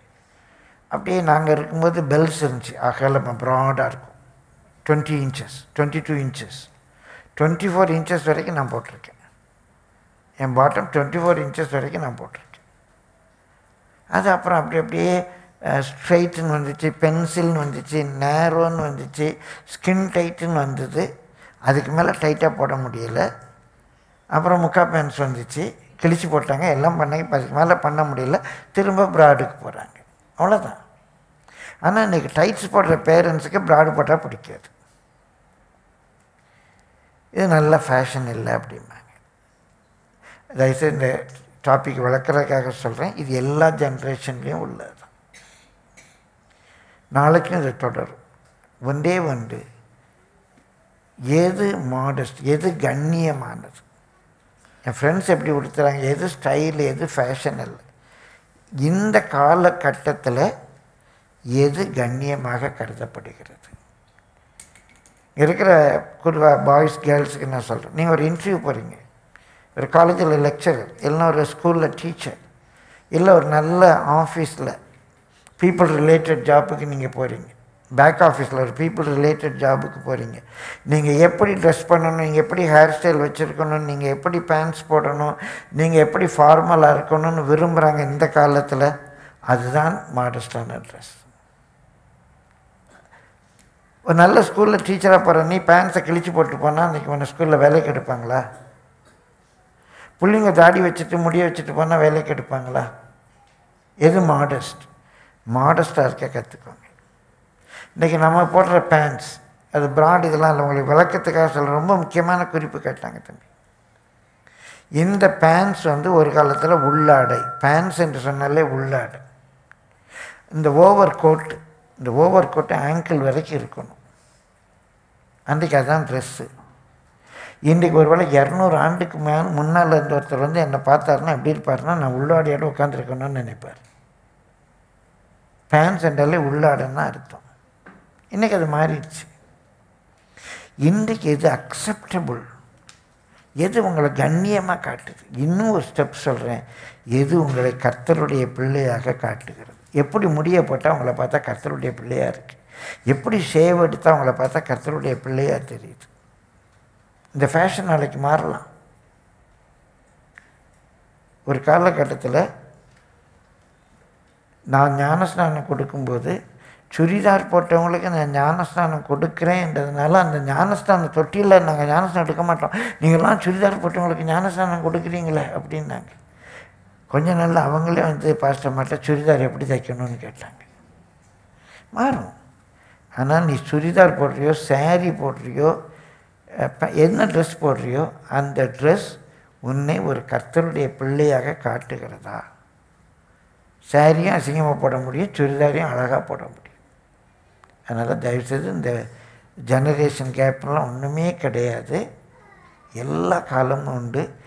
ஐ அப்பீல் டு யூ கர்த்தருடைய பிள்ளைகள் எப்படி இருக்கணும் அப்படி உங்களை காத்துக்கொள்ளுங்கள் தேங்க்யூ அப்பா. ஸோ நம்ம தொடர்ந்து கம்யூனிகேஷனை பற்றி பார்த்துட்ருக்குறோம் ஏன் கம்யூனிகேஷன் ரொம்ப அவசியம்? குடும்பங்கள் கட்டப்பட கர்த்தருக்குள்ளே கட்டப்பட அப்படின்னு பார்க்கும்போது இந்த நாட்கள் எல்லாம் கம்யூனிகேட் பண்ணுறதுக்கே ஒரு சிலர் வந்து கம்யூனிகேட் பண்ணால் பிரச்சனை வந்துருமோ? நம்ம இதெல்லாம் ஷேர் பண்ணால் குடும்பத்தில் இருக்க சமாதானம் கெட்டுருமோ? இன்னைக்கு காலைல கூட நம்ம அந்த சின்ன ஒரு ப்ரொமோ வீடியோவில் நம்ம பார்த்தது போல் நான் அமைதியாக சைலண்ட்டாக இருந்துட்டேன்னா அவங்களுக்கும் பிரச்சனை இல்லை? எனக்கும் பிரச்சனை இல்லை. இது வந்து நாள் ஆக இது அமைதியாக சைலண்ட்டாக இருக்கிறோம் அப்படின்றது நாள் ஆக ஆக என்ன ஆகுது? விரிசல் பெருசாயிட்டே போகுது. அந்த விரிசல் அவ்வளோ பெருசாகி at one point of time இது எங்கேருந்து திரும்பி பிரிட்ஜ் பண்ணுறது அப்படின்னே தெரியாத அளவுக்கு எங்கே தான் பிரச்சனை ஆரம்பிச்சதுன்னு தெரியாத அளவுக்கு போய் குடும்பங்கள் சிதைகிறத நம்ம பார்க்க முடியுது. ஒரு சிங்கம் இருந்து தான் அந்த சிங்கம் வந்து காட்டுக்கு ராஜா இல்லையா? ஸோ அந்த சிங்கம் வந்து நல்லா கறி மீன் அதெல்லாம் போட்டு அந்த சிங்கத்தை நல்லா ஒரு ஜூவில் வளர்த்துட்டு இருந்தாங்க. ஆனால் அந்த சிங்கத்துக்கு அங்கே இருக்கிறதுக்கு திருப்தியே இல்லை. திடீர்னு ஒரு நாள் என்ன சொன்னாங்க? சரி உனக்கு இங்கே இருக்கிற திருப்தி இல்லை. அந்த சிங்கம் அப்படியே பார்த்துட்டு இருந்துச்சு. ஒரு சான்ஸ் கிடச்சிது. உடனே அந்த சிங்கம் வந்து அமெரிக்காவுக்கு போயிடுச்சு. அமெரிக்காவில் இருக்கிற ஜூவில் போய் நான் இருக்க போகிறேன் அப்படின்னு சொல்லிட்டு அமெரிக்கா ஜூவுக்கு போயிடுச்சான் அங்கே போனால் என்னாச்சு? அவன் முதல் நாள் பீட்ரூட்டு கேரட்டு அப்படின்லாம் கொடுத்த உடனே நினச்சி தான் ஓ ஓஹோ இன்னைக்கு வந்து வியாழக்கிழமை போலுக்கு. அதனால தான் நமக்கு நான்வெஜ் எல்லாம் கொடுக்கல. அப்புறம் சனிக்கிழமையும் அப்படி தான் வந்துச்சான் சரி ஞாயிற்றுக்கிழமையாச்சும் நான்வெஜ் கிடைக்கும். இது கிறிஸ்டியன் ஊர் அப்படின்னு யோசிச்சான் அன்றைக்கும் கிடைக்கலையா. அப்புறம் அந்த ஜூ கீப்பரை பார்த்து கேட்டுச்சான் ஏன் என் ஊர்லேயே அங்கே வந்து நாங்கள்லாம் வந்து கொஞ்சம் டெவலப்பிங் கண்ட்ரி தான். அங்கேயே எனக்கு டெய்லி கறியெல்லாம் கொடுத்தாங்க. ஏன்னா டெய்லி நான் அப்போ சொல்லிச்சா? நீ வந்து குரங்கு வீசாவில் வந்திருக்கிற. அதனால உனக்கு காய்கறி மாத்திரம் தான் கொடுப்போம் அப்போ நிறைய பேர் என்ன பண்ணுறாங்க எலி ஊருக்கு தப்பி புலி ஊரில் போய் மாட்டின கதையாக குடும்பங்கள்லேருந்து தப்பி வயசானவங்க கொஞ்சம் பிரச்சனை கொடுத்தா ஓல்டேஜ் ஹோமு பிள்ளைங்க என்ன பண்ணுறாங்க அப்போ அப்பா அம்மா குடைச்சல் கொடுக்குறாங்க. நாங்கள் என்ன பண்ண போகிறோம் ஹாஸ்டலில் போய் படிக்க போகிறோம் ஹஸ்பண்ட் ஒய்ஃப் என்ன பண்ண போகிறாங்க உனக்கும் எனக்கும் பிரச்சனை. நான் எங்கள் அம்மா வீட்டுக்கு போகிறேன் அப்படின்னு சொல்லிட்டு போகிறாங்க ஒரு சிலர் ஹஸ்பண்ட் சொல்கிறாங்க நாங்கள் நைட் ரொம்ப லேட்டாக வரோம் வீட்டுக்கு. கேட்டால் ஓவர் டைம் பண்ணுறோன்றாங்க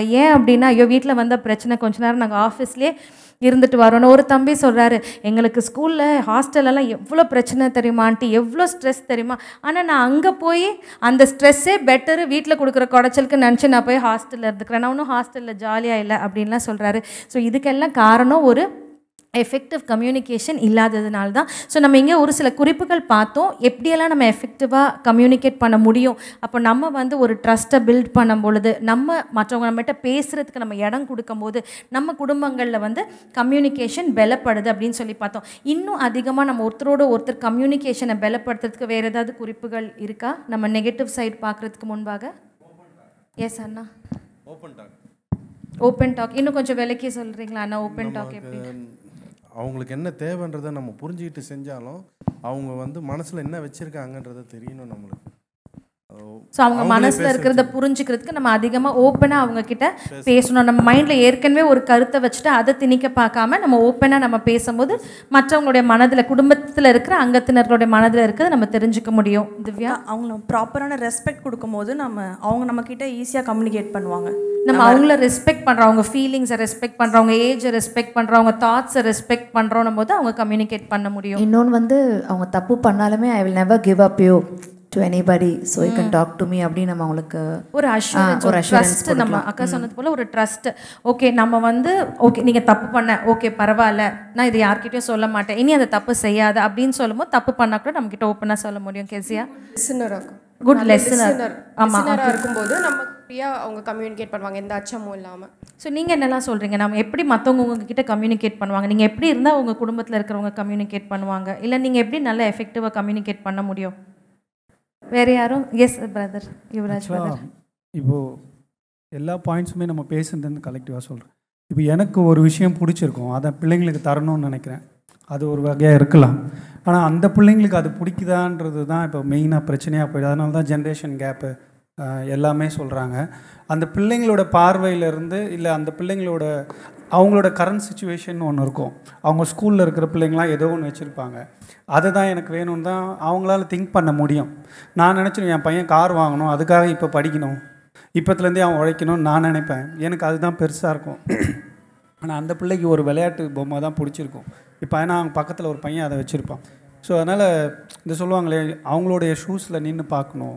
ஸோ அதை வந்து பேரண்ட்ஸ் தான் பண்ண முடியும். சில்ட்ரன்ஸ் அதை வந்து பண்ண முடியாது. ஸோ பேரண்ட்ஸ் கொஞ்சம் அதை இது பண்ணிவிட்டு நம்ம எதிர்பார்ப்புகளை அதிகமாக பிள்ளைங்க மேலே திணிக்கும் போது அவங்களால நம்ம கிட்ட கம்யூனிகேட் பண்ண முடியலை. ஆமாம் அவங்க என்ன நினைக்கிறாங்க அவங்க என்ன விரும்புகிறாங்கன்றதை ஐயா சொன்னது போல் அதை சரியானதாக சீர்தூக்கி பார்த்து அவங்களுக்கு புரிய வச்சு அப்படி செஞ்சால் பிள்ளைங்க சந்தோஷப்படுவாங்க.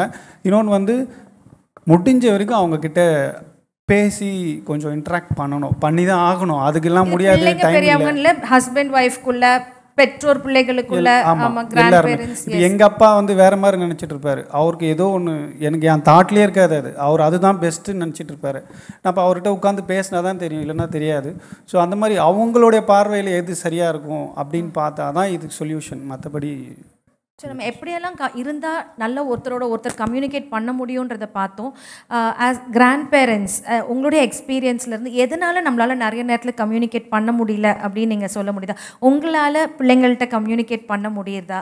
நம் நீங்கள் எதுவும் சொல்ல விருப்பப்படுறீங்களா? ஆ நோப்ளின் பிள்ளைங்க வந்து இப்போ இந்த ஜட்ஜ்மெண்டல் அப்படின்னு சொன்னாங்கல்ல அதாவது அவங்கக்கிட்ட ஒரு சேஞ்சஸ் தெரியும் போது ஒரு ட்ரெஸ் ஏதோ வித்தியாசமான ட்ரெஸ்ஸு கேட்கும்போது டக்குன்னு அவங்கள வந்து நம்ம ஒரு மாதிரி அசிங்கமாகவோ கொச்சமாகவோ சடனாக அவகிட்ட ஒரு சேஞ்ச் தெரியும் போது ஒரு பயங்கரம் எக்ஸாஜுரேட் ஆகி அந்த பிள்ளைங்கள வந்து எதுக்கு இந்த மாதிரி ஒரு ட்ரெஸ் கேட்குற. யாரை பாக் சம்திங் லைக் தட் அப்படி பேசிடக்கூடாது. மேபி அது வந்து அவங்களுக்கு நெக்ஸ்ட் டைம் நம்மக்கிட்ட கம்யூனிகேட் பண்ண முடியாது அதுங்க ஃப்ரீயாக பேச முடியாது. ஸோ அந்த ஜட்ஜ்மெண்டல் சொல்கிறனால மேபி அது அவங்களுக்கு அந்த ரீசனாக இருக்கலாம். ஆமா. So அம்மா நம்ம நம்மளை சந்தேகப்படுறாங்க நம்ம கேரக்டர் பற்றி ஏதோ பேசுகிறாங்க அந்த எக்ஸாஜுரேஷன் வீட்டில் கொடுத்துடக்கூடாது. கொடுத்துடக்கூடாது. நம்ம கம்யூனிகேஷனை ஸ்டாப் பண்ணிடும் இப்படிப்பட்ட காரியங்கள் பண்ணும் பொழுது அவங்கள தப்பாக புரிஞ்சுப்பாங்களோன்னு நினச்சி தான் கம்யூனிகேட் பண்ண மாட்டேன்றாங்க. ஸோ நம்ம வந்து இமீடியட்டாக ஜட்ஜ்மெண்ட்டில் இருந்தோம்னா கம்யூனிகேஷன் ஃபேமிலியில் குறைஞ்சி போயிடும் அப்படின்ற ஒரு நல்ல ஒரு அருமையான கருத்தை சொன்னாங்க. நம்ம வந்து அவங்கக்கிட்ட ஏதோ ஒரு சேஞ்சஸ் பார்க்கும்போது நம்ம முதல்ல பதறி அப்படியே டென்ஷன் ஆகி அப்படியே பீக்கில் போயிட்டு அப்படியே அவங்க ஐயோயோ ஏன் இப்படி பண்ண? இப்படிலாம் பண்ணக்கூடாது. அப் அதை கொஞ்சம் குறைச்சாலே கொஞ்சம் நிறைய பிரச்சனை குறையும்.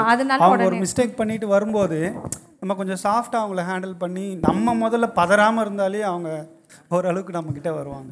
ஓகே ஸோ ஹஸ்பண்ட்ஸ் அண்ட் ஒய்ஃப்ஸ்க்கு மத்தியில் கம்யூனிகேட் பண்ணக்கூடாதபடிக்கு ஏதாவது ப்ராப்ளம்ஸ் இருக்கா? ஏன் கம்யூனிகேட் பண்ண முடியல பிட்வீன் ஹஸ்பண்ட் அண்ட் ஒய்ஃப்ஸ் இப்போ நம்ம பெற்றோர் பிள்ளைகள் மத்தியில் கம்யூனிகேட் பண்ண முடியாத ரீசன்ஸ் பார்த்தோம். பிரதர் நீங்கள் எதுவும் சொல்ல விரும்புகிறீங்களா இல்லை இப்போது பேர குழந்தைங்களுக்கும் பா இப்போ தாத்தாங்களுக்கு தான் கம்யூனிகேஷன் கேப்பு இதெல்லாம் சொல்கிறாங்க என்ன என்னை பொறுத்த வரைக்கும் அவங்களுக்குள்ள தான் நல்ல ரிலேஷன்ஷிப் இருக்குது இப்போல்லாம். அவங்க தான் வந்து பேரண்ட்ஸ் கிட்ட தான் அவங்க டிஃப்ரென்ஸ் ஆஃப் ஒப்பீனியன் கோவம் இதெல்லாம் வரத கண்டி அவங்க மனசு விட்டு பேசுறது வந்து பா- தாத்தா பாட்டி கிட்ட தான். எது இருந்தாலும் வந்து ஆமாம் அவங்க அவங்க தலையில படுத்துக்கிட்டு அவங்களுக்கு வேண்டியதை சொல்லிட்டு அப்பா அம்மா அப்பா அம்மா இந்த மாதிரி சொல்கிறாங்க இந்த மாதிரி பண்ணுறாங்கன்னா தாத்தா பாட்டி அவங்க வந்து ஸ்மூத் பண்ணி அவங்களுக்கு இது சொல்லி ஸ்மூத்தாக தான் போகுது. அந்த அளவுக்கு ஒரு கேப்ன்றது தாத்தா பாட்டிக்கும் பேர பேர குழந்தைங்களுக்கும் இல்லைன்னு தான் நான் நினைக்கிறேன். வண்டர்ஃபுல் வண்டர்ஃபுல் அப்படி இருக்கக்கூடாதுன்றதுக்காக தான் நம்ம அநேக காரியங்களை பேசிட்டு இருக்கோம். அதே மாதிரி அந்த. குழந்தைங்களை நம்ம போகும்போது இப்போ தாத்தா வயசானா இருந்தால் கூட we have to அந்த வயசுக்கு நம்ம போயிடணும். See, இப்போ அவங்க பத்து வயசு இருக்காங்க பத்து வயசில் அவங்க என்ன விளா அது அது நம்ம நம்ம விளையாடினோம்னா அவங்க நம்ம மேலே வந்து ஒரு கான்ஃபிடென்ஸ் வரும். அவன் ஒரு டென்த்து நைன்த்து படிக்கிறான் எயித்து அந் அவன் லெவலுக்கு நம்ம இறங்கிடணும். நம்ம வந்து படித்தோம் வேலை செய்கிறோம் அது மாதிரிலாம் இருக்கக்கூடாது. அவங்க லெவலில் இறங்கி அவங்க கூட பழகணும்னா கட்டாமல் எந்த பிள்ளையும் வந்து எந்த பேரண்ட்ஸ் கிட்ட கூட மறைக்க மாட்டான் யார்கிட்டையும் மறைக்க மாட்டான். நல்ல ஈக்குவலாக இருப்பாங்க. அது மாதிரி பண்ணால் நல்லா இருக்கும். Wonderful uncle wonderful uncle Leo uncle ஏதோ சொல்ல விரும்புகிறாங்க இப்போ கேட்டிங்க இது வந்து ஹஸ்பண்டுக்கும் ஒய்ஃப்க்கும் Communication. கம்யூனிகேஷன் அது வந்து முதல்ல வந்து ஈகோ இருக்கக்கூடாது ரெண்டு பேருக்குள்ள. ஈகோ இருந்தாலே நீயா நானும் வந்தாலும் அந்த அன்பு ரொம்ப கொ- குறைஞ்சு போயிடும். ஸோ சொல்ல மாட்டோம். ஈகோ அப்படின்னு இருக்கும்பொழுது நம்ம யோசிக்கிறது மைண்டில் யோசிக்கிறது கம்யூனிகேட் பண்ணுறதுக்கு ஈகோ ஒரு காரணமாக இருக்குது அங்கிள் சொல்கிறாங்க வேற நான்சி பெரியவங்க கிட்ட போய் நாங்கள் ஷேர் பண்ணலான்னு போகும்போது அவங்க உடனே வந்து நாங்களாம் அந்த காலத்தில் எப்படி இருக்கோம்னு தெரியுமா? எப்படி இருந்தோம்னு அந்த ஸ்டார்ட் பண்ணிடுறாங்க. அது அப்படியே பிரேக் ஆகிடுது நாங்கள் பேச வர்றது. சரி எங்கள் ஏஜ் கிட்ட பேச எங்கள் ஏஜ் குரூப் கிட்ட பேசலான்னு போனால் அவங்களும் அவங்க எக்ஸ்பீரியன்ஸ் அதை பிரேக் பண்ணிவிட்டு அவங்க எக்ஸ்பீரியன்ஸை சொல்ல ஆரம்பிச்சிடுறாங்க. யாருமே ஃபுல்லாக கேட்குற மனநிலைமையிலே இல்லை. ஸோ நம்ம சொல்ல போகும்பொழுது கேட்குறதுக்கு ஆட்கள் இல்லாதப்போ நம்ம சொல்ல வேண்டியது அந்த இடத்துல ஸ்டாப் ஆயிடுது. ஓகே வேற யாரும் ஏன் கம்யூனிகேட் பண்ண முடியலன்றது காரியங்களை பேசிட்டு இருக்கோம். பிட்வீன் இன்லாஸ் மத்தியில் ஏன் கம்யூனிகேட் பண்ண முடியல? Daughter in law mother in law அதான் மோஸ்ட்லி பார்த்தீங்கன்னா ஜட்ஜ்மெண்டல் தான் அவங்க சொன்ன மாதிரி. எதனா சொல்ல போனால் இவங்க வந்து நம்மளை ஒரு மாதிரி ஒன்று ஏதாச்சும் சொல்லிடுறாங்க இல்லை நீ அப்படி தான் அப்படின்றாங்க ஏதோ நம்மளை ஜட்ஜ் பண்ணிடுவாங்கன்ற ஒரு ஒரு பயம் இருக்குது அவங்க ஜட்ஜ் பண்ணி ஜட்ஜ் பண்ணி அவங்க மனசுலேயே வச்சுக்கிட்டாலும் பரவாயில்ல. நம்ம அப்படி போனோடனே அவங்க அப்பா அப்படி தான் அவங்க உங்கள் அம்மா அப்படி தான் அவன் அப்படி தான் இருப்பான் நீ விட்டு வேலையை பாரு. ஸோ அந்த மாதிரி நம்மளை டீக்ரேட் பண்ணி விட்டுறாங்க. ஸோ அப்படி பண்ணும்போது நமக்கு ஒரு ஃபியர் வந்துடும் ஐயோ நம்ம பையன்கிட்ட போய் என் பையன்கிட்ட போய் என்னை பற்றியே உங்கள் அப்பா அந்த காலத்தில் வந்து ஃபெயில் ஆகிட்டான் உன்னை மட்டும் படி படிங்கிறான். ஸோ அந்த மாதிரி சொல்லும்போதோ இல்லை நான் வந்து எங்கள் உங்கள் தாத்தா அப்படி தான்டா சும்மானா அப்படி சொல்லிட்டு இருப்பார். ஸோ அந்த மாதிரி ஒருத்தர் மேலே ஒருத்தர் வந்து சொல்லாமல் இருந்தால் அந்த கான்ஃபிடென்ட் பில்ட் ஆகி நம்ம கொஞ்சம் அவங்ககிட்ட கம்யூனிகேட் பண்ணுறதுக்கு கம்யூனிகேட் பண்ண இதுவாக ஈஸியாக இருக்கும். இன்னும் மதர் இல்லா சிஸ்டர் இல்லா அப்படின்னு சொல்லும்போது நம்ம வீட்டுக்கு புதுசாக வந்திருக்கோம். அத்தனை பேரையும் நம்ம விட்டுட்டு இன்னொரு வீட்டுக்கு புதுசாக போகும்போது அவங்க எனக்கு அந்த கம்ஃபர்ட் ஜோன் கொடுக்கணும். நீ எங்கள் வீட்டு பிள்ளை இனிமேல் அப்படின்னு சொன்னால் நம்ம ஈஸியாக கம்யூனிகேட் பண்ணலாம். அம்மான்னு சொல்லி நம்ம பேசலாம். பட் உன் திங்ஸ்லாம் இந்த ரூம்லேயே வச்சுக்கோ. அப்படின்னு ஒரு ரூம் மாத்திரம் நமக்கு கொடுத்துட்டு அதுக்கப்புறம் கிச்சனில் வந்து இங்கே வந்து நீ சமைச்சிக்கோ. ஓகேவா காலையில் ஏமிச்சிரு அந்த மாதிரி இந்த ஆர்மியில் இருக்கிற மாதிரி நமக்கு கண்டிஷன்ஸ் இந்த மாதிரிலாம் போட்டால் நம்ம மதர் கிட்டேயும் கம்யூனி ஈஸியாக கம்யூனிகேட் பண்ண முடியாது. முடியாது. ஸோ ஒரு சில காரியங்கள் நம்ம பார்த்தோம். ஸோ பிள்ளைங்களும் ஒரு சில காரியங்கள் சொன்னாங்க. எதனால நம்மளால் எஃபெக்டிவாக வீடுங்களில் குடும்பங்களில் கம்யூனிகேட் பண்ண முடியலைன்னு. இன்னொரு காரியம் இப்போ நம்ம பார்க்கலாம் பேரண்ட்ஸ் வந்து ஏஜ்டாக இருக்கிறாங்க. அவங்கக்கிட்ட இந்த காரியங்களை சொன்னோம் அப்படின்னா அவங்களுக்கு அது ஒரு ஷாக் ஆகிடக்கூடாதோ அப்படின்னு சொல்லி கூட ஒரு சில காரியங்கள் கம்யூனிகேட் பண்ணாமல் இருக்கிறோம். ஆனால் அது பேரண்ட்ஸ் ஆஸ்பெக்ட்லேருந்து பார்த்தா அவங்க நெக்லெக்டடாக ஃபீல் பண்ணுறாங்க வயசானவங்களாக இருக்கட்டும் இல்லை பேரண்ட்ஸ் நம்ம அப்பா அம்மா புரிஞ்சுக்க மாட்டாங்கன்னு நினச்சாலும் ஒரு பக்கம். இன்னொரு பக்கம் நம்ம சொல்கிற காரியம் அவங்கள பாதிச்சிடக்கூடாதுன்னு அன்புனால நம்ம சொல்லலைன்னா கூட பெரியவங்க அதை எப்படி எடுத்துக்கிறாங்க நம்மளை ஒதுக்கிட்டாங்க நம்மக்கிட்ட சொல்ல மாட்டேன்றாங்க நம்மக்கிட்ட ஷேர் பண்ண மாட்டேன்றாங்க. ஸோ இந்த கம்யூனிகேஷனில் வருகிற ப்ராப்ளம்ஸ் இப்போ நம்ம டிஸ்கஸ் பண்ணதன் அடிப்படையில் இதுக்கு என்ன சொல்யூஷன் எஃபெக்டிவாக நம்ம எப்படி கம்யூனிகேட் பண்ண முடியும்? அம்மா நீங்கள் சொல்கிறீங்களா அடுத்தது அப்பா. கம்யூனிகேஷனில் நமக்கு நல்ல ஒரு அண்டர்ஸ்டாண்டிங் இருக்க வேண்டுமானா உண்மையாகவே எல்லாருக்குள்ளேயும் அந்த ஒரு தேவ பக்தி தேவையாக இருக்கும் அதாவது எந்த விதத்திலேயும் மனதில் ஒன்று வச்சு வெளியே ஒன்று காட்டுற அந்த ஒரு மாய்மாலம் இருக்குமானா நம்ம யாருக்கிட்டையுமே கம்யூனிகேட் பண்ண முடியாது. அவங்க என்னாருன்னு சொல்லிட்டு புரிந்து கொள்ள நம்ம விரும்புறது மாத்திரமல்ல அவங்க தங்களை கொஞ்சம் வெளிப்படுத்தினா தான் நம்ம கம்யூனிகேட் பண்ண முடியும். ஆகையினால் பொதுவாக குடும்பத்தில் ஒருவருக்கு மறைத்து இன்னொருத்தங்க மனதில் ஒன்றை வெடித்து வெளியே ஒன்று பேசி அப்படி ஒரு குடும்ப வாழ்க்கை நடத்தணுமானால் அது எந்த லெவலில் இருந்தாலும் பிள்ளைகள் இடத்துலையோ பெரியவங்க இடத்துலையோ வயதானவங்க இடத்துலையோ நம்ம உண்மையாகவே அந்த அன்பை நம்ம கொடுக்க முடியாது. அந்த கம்யூனிகேஷன் வரவே வராது. அதனால் முதலாவதாக நம்ம சுத்தமாக வைத்துக்கொள்ளணும் நம்ம பேசுகிற வார்த்தைகளில் ரெண்டு வித மீனிங்கெல்லாம் இருக்கக்கூடாது. நமக்கு ஒரு க நியாயம் மற்றவர்களுக்கு ஒரு நியாயம் என்று நாம் இருக்கக்கூடாது. அதே வேளையில் மற்றவர்கள் பெரியவங்களும் அதே போல் ஒரு இதுக்குள்ளே வந்தாங்கன்னா அந்த வீட்டில் உண்மையாகவே சொல்கிறேன் நல்ல ஒரு கம்யூனிகேஷன் இருக்கும் நல்ல ஒரு அண்டர்ஸ்டாண்டிங் இருக்கும். உண்மையாக அதற்காக நான் ஜெபிக்கணும். அது இல்லாவிட்டால் ஒரு இடத்துல அந்த குறை இருந்தாலும் கூட ஒரு இடத்துல அந்த மைமாலம் இருந்தாலும் கூட ஒருத்தர் இடத்துல மறைக்கிற சுவாபம் இருந்தாலும் கூட உண்மையாகவே அது அதிகமாக ஏதாவது சொல்லுவாங்களோ அந்த மாதிரி இழுத்துக்கிட்டு போகலாமே ஒழிய அந்த டோட்டல் கம்யூனிகேஷனும் அந்த பீஸும் அந்த ஜாயும் அந்த அண்டர்ஸ்டாண்டிங்கும் இருக்க முடியாது. அந்த அண்டர்ஸ்டாண்டிங் நல்லா இருந்தால் தான் நம்ம கம்யூனிகேஷன் எஃபெக்டிவாக இருக்கும். அதுதான் என்னுடைய கருத்து. அப்போ நீங்கள் என்ன சொல்ல விரும்புகிறீங்க இன்னும் குடும்பங்களில் இப்போ நம்ம பார்க்குறோம் ஒருத்தரோட ஒருத்தர் கம்யூனிகேட் பண்ண முடியல நம்மளை ஜட்ஜ்மெண்ட்டில் இருப்பாங்களோ நம்மளை மிஸ் அண்டர்ஸ்டாண்ட் பண்ணிப்பாங்களோ அவங்க ஸ்டாண்டர்ட்ஸ்க்கு நம்மளால் ரைஸ் அப் பண்ண முடியல அதனால் கம்யூனிகேட் பண்ணல ஓப்பனாக இதை ஃப்ராங்காக சொல்லிட்டேன் அப்படின்னா எனக்கு இதனால் கஷ்டம் வரும் அப்படின்னு நினச்சிட்டு கம்யூனிகேட் பண்ணாமல் இருக்காங்க. நிறைய பாயிண்ட்ஸ் நம்ம ரேஸ் பண்ணோம். ஸோ அம்மாவும் சொன்னாங்க நம்ம அண்டர்ஸ்டாண்டிங் இருக்கும் பொழுது தான் கம்யூனிகேஷன் வரும். நம்ம ஓப்பனாக இருக்கணும் அப்படி தான் கம்யூனிகேஷன் வரும் நாங்கள் so can you add some more points to it எப்படி நம்ம எஃபெக்டிவாக கம்யூனிகேட் பண்ண முடியும்னு? நான் கொஞ்சம் கேள்வி கேட்க விரும்புகிறேன் இப்போ கம்யூனிகேஷனை பற்றி நீங்கள் நிறையா வியூஸ் சொன்னீங்க. சிஸ்டர் நோப்லிங் இப்போ நீங்கள் கம்யூனிகேஷன் சொல்கிறது நீங்கள் சொல்கிறத அவங்க புரிஞ்சுக்கணும்னு நினைக்கிறீங்களா? இல்லை அவங்க சொல்கிறத நீங்கள் புரிஞ்சுக்கணும்னு நினைக்கிறீங்களா? எதை கம்யூனிகேஷன் சொல்கிறீங்க நான் சொல்கிறத அவங்க புரிஞ்சுக்கணும் அவங்க சொல்கிறத நான் அப்படியா? என்னால் கம்யூனிகேட் பண்ண முடியல கம்யூனிகேட் பண்ண முடியல அப்படின்னு சொல்லும்போது நான் சொல்கிறது அவங்களுக்கு புரிய மாட்டேக்கு அப்படிங்கிற கான்செப்ட் எடுக்கிறோம். நீங்கள் என்ன புரிஞ்சுக்கிறீங்க கம்யூனிகேஷன் யாராவது சொல்லுங்கள் கம்யூனிகேஷன் கம்யூனிகேஷனுங்கிறோம் நான் ஆ. நீங்கள் சொல்கிறது அவங்களுக்கு புரியணும் அவங்க சொல்கிறது உங்களுக்கு புரியணும். இப்போ அவங்கள நம்ம என்ன பண்ணுறது உங்களை பற்றி தானே பேசுகிறோம் நீங்கள் என்ன செய்யலாம்? அவங்களுக்கு புரியலன்னா என்ன பண்ணுறது அப்போ அதான் பிரச்சனையா? சரி. ஏங்க கம்யூனிகேஷன் நம்ம ஜட்ஜ்மெண்டல் இந்த மென்டல் இந்த கோர்ட் கேஸ்லாம் போட்டீங்க. என்னங்க communication problem what what is the communication problem என்ன இப்படி அமைதியாயிட்டீங்க? கம்யூனிகேட் பண்ண மாட்டேங்கிறீங்க. நம்ம வந்து பேரண்ட்ஸ் கிட்டேயோ பேரண்ட்ஸ் கிட்ட நம்ம இப்போ பேசுகிறோம் அவங்க வந்து அவங்களோட கஷ்டம் கம்யூனிகேட் அவங்க வந்து நம்ம கிட்ட வந்து பேசுகிறாங்க. இப்படிலாம் இருக்கு. இப்போ கம்யூனிகேஷன்னா பேசுகிறதா அவங்க என் மனசுல என்ன வச்சிருக்கிறாங்க அதை. வந்து நம்ம கிட்ட ஷேர் பண்றாங்க. ஸோ. அந்த டைம் வந்து அவங்க ஷேர் பண்ற அவங்க மனசுல இருக்கிறத ஷேர் பண்ற போது நம்ம வந்து ஏன் நீங்க இவ்வளோ யோசிக்கிறீங்க நம்ம நம்ம நம்மளுக்கு என்ன தெரியுதோ அதை வந்து நம்ம திரும்பி அவங்க கிட்ட share- நம் நம்ம அவங்க ரெண்டு பேரும் உட்காந்து பேசுறது ஷேர் பண்ற போது ஆனா Share அவங்க- பண்றது. ஆ, அவங்க. வந்து என்னன்னா நீ உனக்கு இதெல்லாம் புரியாது நான் சொல்றதே உனக்கு புரிய வரல அப்படின்னு சொல்லிட்டு நம்ம பேசிட்டு சொல்றாங்க. இருக்கிறதே நிறுத்திடுறாங்க.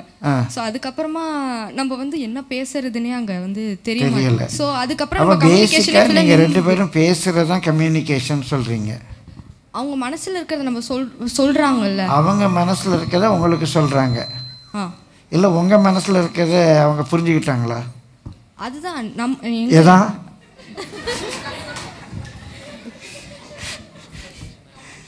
கம்யூனிகேஷன் வர மாட்டேங்குது உட்காருங்க. ரொம்ப சிம்பிளுங்க. கம்யூனிகேஷன் என்று சொல்லுவது நீங்கள் எல்லாருமே கிட்டத்தட்ட பேனலிஸ்ட் எல்லாருமே சொன்னது உரையாடுறது மாதிரி சொன்னாங்க. இவன் ரொம்ப கரெக்டாக இருக்க வந்தால் நான் தான் ஷார்ட்டாக கட் பண்ணேன். என் மனசில் இருக்கிறத அவங்களுக்கு தெரியப்படுத்துறது? என்னை பொறுத்தவரை ஒன்று நிறுத்திடுங்க. அவங்க தெரியப்படுத்துகிறாங்களா தெரியப்படுத்தலையாங்கிறது வித்தியாசம்.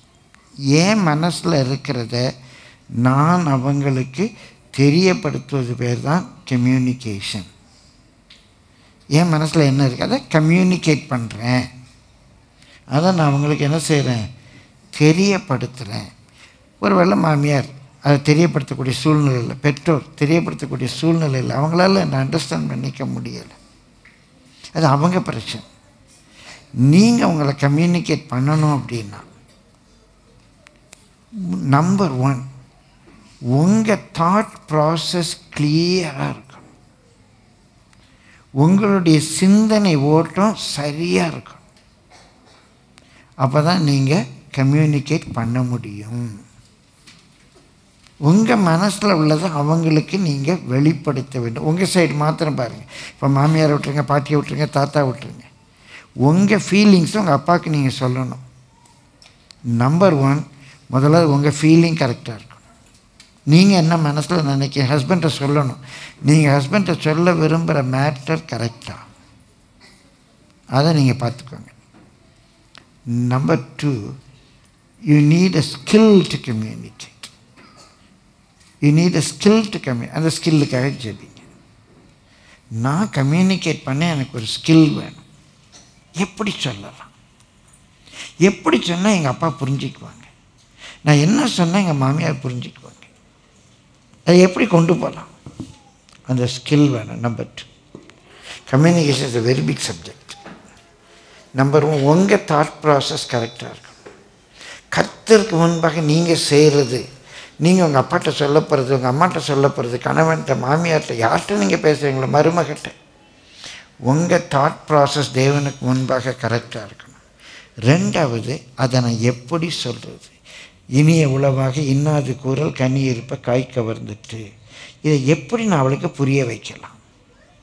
அவள் என்ன செய்யணும்? என் ஹஸ்பண்டை புரிஞ்சுக்கணும். எங்கள் அப்பாவை நான் புரிஞ்சுக்கணும். நான் சொல்லுவேன் எங்கள் அப்பா கேட்கணும். அப்படின்னா முடியாது. நான் எப்படி சொன்னேன் எங்கள் அப்பா கேட்பார். ரொம்ப பைபிள்னு ஒன்று சொல்கிறேன் இயேசு அந்த ஸ்க்ரைப் அந்த வேத பாரகன்ட்டு கேட்பார். தமிழில் இருக்கும் நீ வேதத்தில் என்ன வாசிக்கிறாயின்னு இருக்கும். ஆனால் இங்கிலீஷில் ஹவு டியூ ரீட் நீ எப்படி வாசிக்கிறாய்? நீ எப்படி சொல்கிற அது? அது எப்படி நீ கம்யூனிகேட் பண்ணுற எப்படி அதை நீ வெளிப்படுத்துறது? Skill is very very important number two you thought must be clear number two you need a skill you need a skill to communicate what you got in your heart. Number three, number three, you must understand others. விவேகத்தினால வீடு நிலைந்து இருக்கும் understand your mother in law understand your daughter in law understand your father நான் சொல்கிறதெல்லாம் எங்கள் அப்பா கேட்கணும் இல்லை. உங்கள் அப்பாவை நீ அண்டர்ஸ்டாண்ட் பண்ணு. உங்கள் தாத்தாவை நீ அண்டர்ஸ்டாண்ட் பண்ணு. நான் என்ன வேணாலும் சொல்லுவேன் எங்கள் தாத்தா கேட்கணும். நான் என்ன வேணாலும் சொல்லுவேன் எங்கள் அப்பா கேட்கணும். அப்படி இல்லை. எங்கள் அப்பா என்னை கைட் பண்ணுவாங்க. எங்கள் அப்பா எனக்கு சரியான பாதை கொடுப்பாங்க. இந்த ப்ராப்ளத்தில் எங்கள் அப்பா எனக்கு சொல்யூஷன் சொல்லுவாங்க. எங்கள் தாத்தா எனக்கு சொல்யூஷன் சொல்லுவாங்க. எங்கள் தாத்தா எனக்கு வந்து கண்டிப்பாக என்னை சப்போர்ட் பண்ணுவாங்க. நீ உங்கள் தாத்தா உங்கள் பாட்டியை நீ அண்டர்ஸ்டாண்ட் பண்ணு. இந்த அண்டர்ஸ்டாண்டிங்கில் தான் நிலை நிற்கும். ஸோ எஃபெக்டிவ் கம்யூனிகேஷனுக்கு த்ரீ திங்ஸ் ஆர் இம்பார்ட்டன்ஸ் நிறையா இருக்குது த்ரீ திங்ஸ் நான் சொல்கிறது it's a science number one your thought process must be clear number two you need a skill to communicate நீ என்ன சொல்லுகிறாய் என்பதெல்லாம் அதை எப்படி சொல்லுகிறாய்? கோபமாக இருக்கிறோம் அந்த கிளாஸ் டம்ளர் வைக்கும்போது டங்குன்னு வைப்போம். கம்யூனிகேஷன் பார்த்தோம்னா ஸ்மைல் பண்ணுவோம். கம்யூனிகேஷன் நல்லா சந்தோஷமாக மனைவி ஒரு பிஞ்ச் பண்ணுவோம். கம்யூனிகேஷன் அப்படியே பின்னால் ஒரு பேட் பண்ணுவோம். Communication just a smile communication how are you it's a communication அதனால் உட்காந்து உட்காந்து கதை பேசுகிறது தான் கம்யூனிகேஷன் அல்ல. Even your smile your actions can communicate நான் சொன்னது போல் டம்முன்னு அந்த டம்ளரை வைக்கிறதே ஒரு கம்யூனிகேஷன் நான் கோபமாக இருக்கிறேன். நம்பர் த்ரீ அண்டர்ஸ்டாண்ட் யார்கிட்ட நீங்கள் கம்யூனிகேட் பண்ணுறீங்களோ அவங்கள அண்டர்ஸ்டாண்ட் பண்ணுங்க. அண்டர்ஸ்டாண்ட் பண்ண நான் சொல்கிறதெல்லாம் அவங்க கேட்கணும். நான் சொல்கிறதெல்லாம் அவங்க கேட்கணும் அப்படின்னா முடியாது.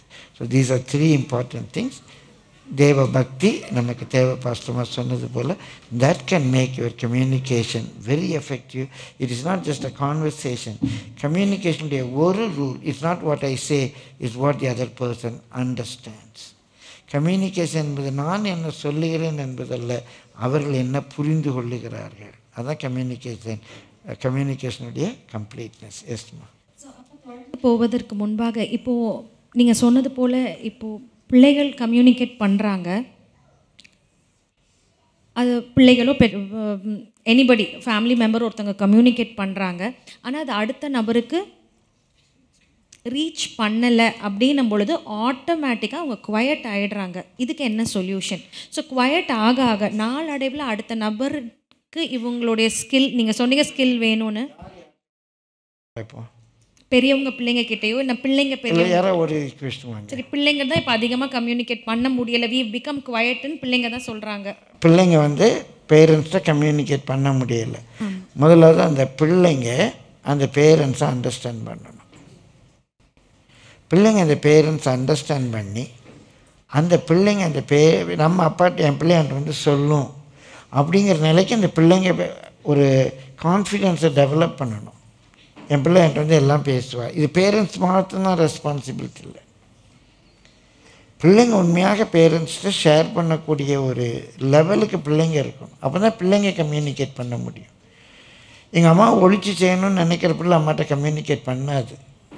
பட் ஒழிச்சு செய்கிறது இப்போ நோபுல்னு சொன்ன மாதிரி ஒரு பயத்தினால பிள்ளை வந்து அந்த பயத்துக்குரிய காரணம் என்ன? எனக்கும் பேரண்ட்ஸுக்கு கீழ்ப்படியாமல் இருந்தனால அந்த பயம் வந்துடுச்சு நான் சொன்னதை பேரண்ட்ஸ் கேட்கணும். இல்லைன்னா அப்படி அடிப்பாங்க. பேரண்ட்ஸ் சொன்னதை நான் கேட்கணுன்னு அந்த பிள்ளை வளர்ந்துருக்கணும். இப்போ எனக்கு ஸ்கூலில் ஒரு ப்ராப்ளம் வந்துடுச்சு இல்லைன்னா ஏதோ ஒரு ஒரு பேட் டச் குட் டச் ஏதோ ஒன்று வருது. அந்த பிள்ளை போய் எங்கள் அப்பாட்ட சொன்னால் எங்கள் அப்பா என்னை அண்டர்ஸ்டாண்ட் பண்ணுவாங்கங்கிற நிலை அந்த பிள்ளை உருவாக்கணும். அப்பா மட்டும்தான் உருவாக்கணும் என்றால் பிள்ளைக்கும் அந்த பொறுப்பு இருக்குது நம்ம அப்பாட்ட சொன்னால் அப்பா எனக்கு ஹெல்ப் பண்ணுவாங்க. அப்படின்னு அந்த பிள்ளை ஒரு கான்ஃபிடென்ஸ் லெவலுக்கு வந்துடுச்சுன்னா கண்டிப்பாக அப்பாட்ட போய் கம்யூனிகேட் பண்ணும். அது அப்பா மட்டும் பொறுப்பல்ல. சின்ன வயசுலேருந்தே அந்த பிள்ளையும் அந்த அட்டாச்மெண்ட்டை வளர்க்கணும். என்ன வேறு யார்ட்டும் சொல்ல மாட்டேன். அது இன்னொன்று நம்ம பேரண்ட்ஸ் பைபிளை பிள்ளைகளுக்கு சொல்லி கொடுக்கணும். நம்ம தான் அவங்களுக்கு ரெஸ்பான்சிபிளுங்கிறத அவங்களுக்கு புரிய வைக்கணும். அது பேரண்ட்ஸ் சைடு ஆனால் பிள்ளைங்க பேரண்ட்ஸுக்கு மறைக்கணும்னு நினச்சிட்டாங்கன்னா பிள்ளைகளால் பேரண்ட்ஸில் கம்யூனிகேட் பண்ணவே முடியாது. Unless their thought is clear they cannot communicate. வேறு ஒருவேளை அந்த ஆன்சர் சிலருக்கு கொஞ்சம் அன்எக்ஸ்பெக்டடாக இருக்கும். ஆனால் ஏதோ உட்காந்து உட்காந்து பேசுகிறது கம்யூனிகேஷன் இல்லை. உங்கள் தாட் ப்ராசஸ் கிளியராக இருக்கணும். அப்போ தான் நீங்கள் இப்போ நான் கம்யூனிகேட் பண்ணுறேன் உங்கள்கிட்ட what I think I am telling you it's a communication okay அப்பா நான் தேங்க்யூ இப்போ சொல்லும்போது நீங்கள் கவனிச்சிங்களோ இல்லை நான் கவனித்தேன் அவங்க தலை ஆடிக்கிட்டே இருக்கு. இப்படி தலை ஆடிக்கிட்டே இருக்கு. அப்போ என் கம்யூனிகேஷன் இஸ் கம்ப்ளீட் நான் சொல்கிறத அவங்க புரிஞ்சுக்கிறாங்க. இப்படி தலை ஆடி இருந்துச்சுன்னா நான் சொல்கிறத அவங்க புரிஞ்சிக்கலன்னு நான் புரிஞ்சிருப்பேன்.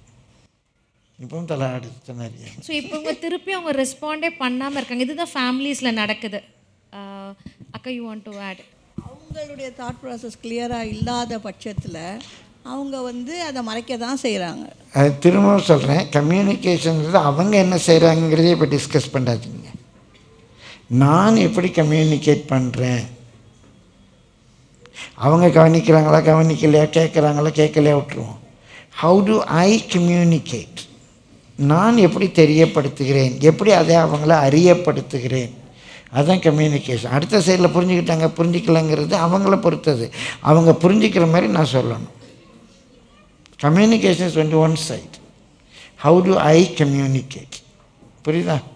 ஸோ எனி சுச்சுவேஷன் நம்ம ஃபேமிலி பில்ட் பண்ணணும் அப்படின்னா டோன்ட் ஸ்டாப் கம்யூனிகேட்டிங் நல்ல கிளியராக உங்கள் தாட் ப்ராசஸை கிளியராக வச்சுக்கோங்க. ஆண்டவர் இடத்துல இந்த ஸ்கில் கேளுங்க அண்டர்ஸ்டாண்டிங் கேளுங்க. தேவ பக்தினால் நம்ம நிரப்பப்படும் போது கண்டிப்பாக நம்மளால் ஓப்பனாக காரியங்களை சொல்ல முடியும். ஸோ காரியங்களை மறைக்க வேண்டிய அவசியம் இல்லை. நம்ம ஃபேமிலி கர்த்தருக்குள்ளே கட்டப்படும். இன்னும் ஒரே ஒரு லாஸ்ட் செக்மெண்ட்குள்ளே நம்ம போயிட்டு நம்ம இன்றைக்கி உள்ள இந்த பேனல் டிஸ்கஷன் வைண்ட் அப் பண்ணலாம் அப்படின்னு சொல்லி நினைக்கிறேன். நம்ம குடும்பங்கள் ஸோ முதலாவது நம்ம குடும்பங்கள் ரொம்ப ஸ்ட்ராங்காக கட்டப்படணும் அப்படின்னு சொன்னால் அன்பு தேவை. அது நம்ம ரெண்டு வாரத்துக்கு முன்பாக செய்தியில் கூட நம்ம பார்த்தோம். இப்போ நம்ம அடுத்தது பார்த்தோம் நம்ம ஒருத்தரோட ஒருத்தர் கம்யூனிகேட் பண்ணணும் அப்படின்னு சொல்லிட்டு. மூன்றாவது குடும்பங்கள் பலப்படணும் அப்படின்னு சொன்னால் குடும்ப உறவுகள் பலப்படணும் அப்படின்னா நம்ம குடும்பங்களுடைய ஃபோக்கஸ் வந்து கர்த்தர் மேலே தான் இருக்கணும் அப்படின்றது ஒரு ஆணித்தரமான ஒரு உண்மை. That is a fact a family that prays together stays together அப்படின்றது நமக்கு தெரியும். எந்தெந்த விதங்களில் நம்மளுடைய ஃபோக்கஸ் குடும்பத்துடைய ஃபோக்கஸ் எந்தெந்த விதங்களில் இன்னும் நம்ம ஸ்ட்ரெங்தன் பண்ண முடியும்? பிள்ளைங்கள்லேருந்து ஆரம்பிப்போம். எந்தெந்த விதங்களில் நம்ம குடும்பத்தில் ஃபோக்கஸ் நீங்கள் எப்படி கர்த்தர் மேலே உங்கள் ஃபோக்கஸை வைக்கிறது உங்கள் குடும்பத்துடைய ரிலேஷன்ஷிப்பை பலப்படுத்தும்? பிரின்சிபல்ஸ் எப்படி நீங்கள் கர்த்தருடைய பிரின்சிபல்ஸ் ஃபாலோ பண்ணுறது உங்கள் ஃபேமிலியை ஸ்ட்ரெங்தன் பண்ணும்? ஒன்ஸ் ஜீஸ் ஐ மீன் காட் நம்மக்குள்ளே வந்துட்டாங்கன்னா ஒன்ஸ் த பிளேஸ் நம்ம இருக்க பிளேஸ் வந்து ஒன்ஸ் காட் வர்ஷிப் பண்ணுற பிளேஸ் காட் வந்து இருக்கிற பிளேஸாக மாறிச்சுன்னா automatically we feel we feel a presence of God so I think அதுலேயே வந்து நம்மளுக்கு ஒரு ஸோ நம்ம குடும்பத்தில் நம்ம ஃபேமிலியில் ஒரு ஃபேமிலி ப்ரேயர் இருக்குது நம்ம நல்லா வர்ஷிப் பண்ணுறோம் அப்படின்னாலே கர்த்தருடைய ப்ரெசன்ஸ் அந்த குடும்பங்களில் இருக்கும்போது அங்கே ரிலேஷன்ஷிப் உறவுகள் ரொம்ப வலுப்படும் அப்படின்னு ஹேனா சொல்கிறாங்க anybody else would like to say some individual prayers and இண்டிவிஜுவலாக ஒருத்தவங்க உட்காந்து நம்ம ப்ரேயர் பண்ணும் பொழுது நம்ம எந்த ஒரு எக்ஸாம்பிளோட சொல்ல முடியுமா? எந்த சுச்சுவேஷன் எப்படி? எப்படி நம்ம இண்டிவிஜுவல் ப்ரேயர்ஸ் எப்படி நம்ம ஃபேமிலி ரிலேஷன்ஷிப்பை ஸ்ட்ரெங்தன் பண்ண முடியும்? ஃபேமிலியில் ஒரு ப்ராப்ளம் இருந்தால் அது நம்ம அதை ஜீசஸ் கிட்ட எடுத்துன்னு போகலாம் அந்த ப்ராப்ளமை ஸோ நம்ம ஒரு ஃபேமிலியில் ஒரு ப்ராப்ளம் இருக்குது சின்ன பிள்ளைகளாக தான் இருக்கலாம். அந்த ப்ராப்ளம்க்கு சின்ன பிள்ளைகளால உடனே போய் என்ன செய்ய முடியாது.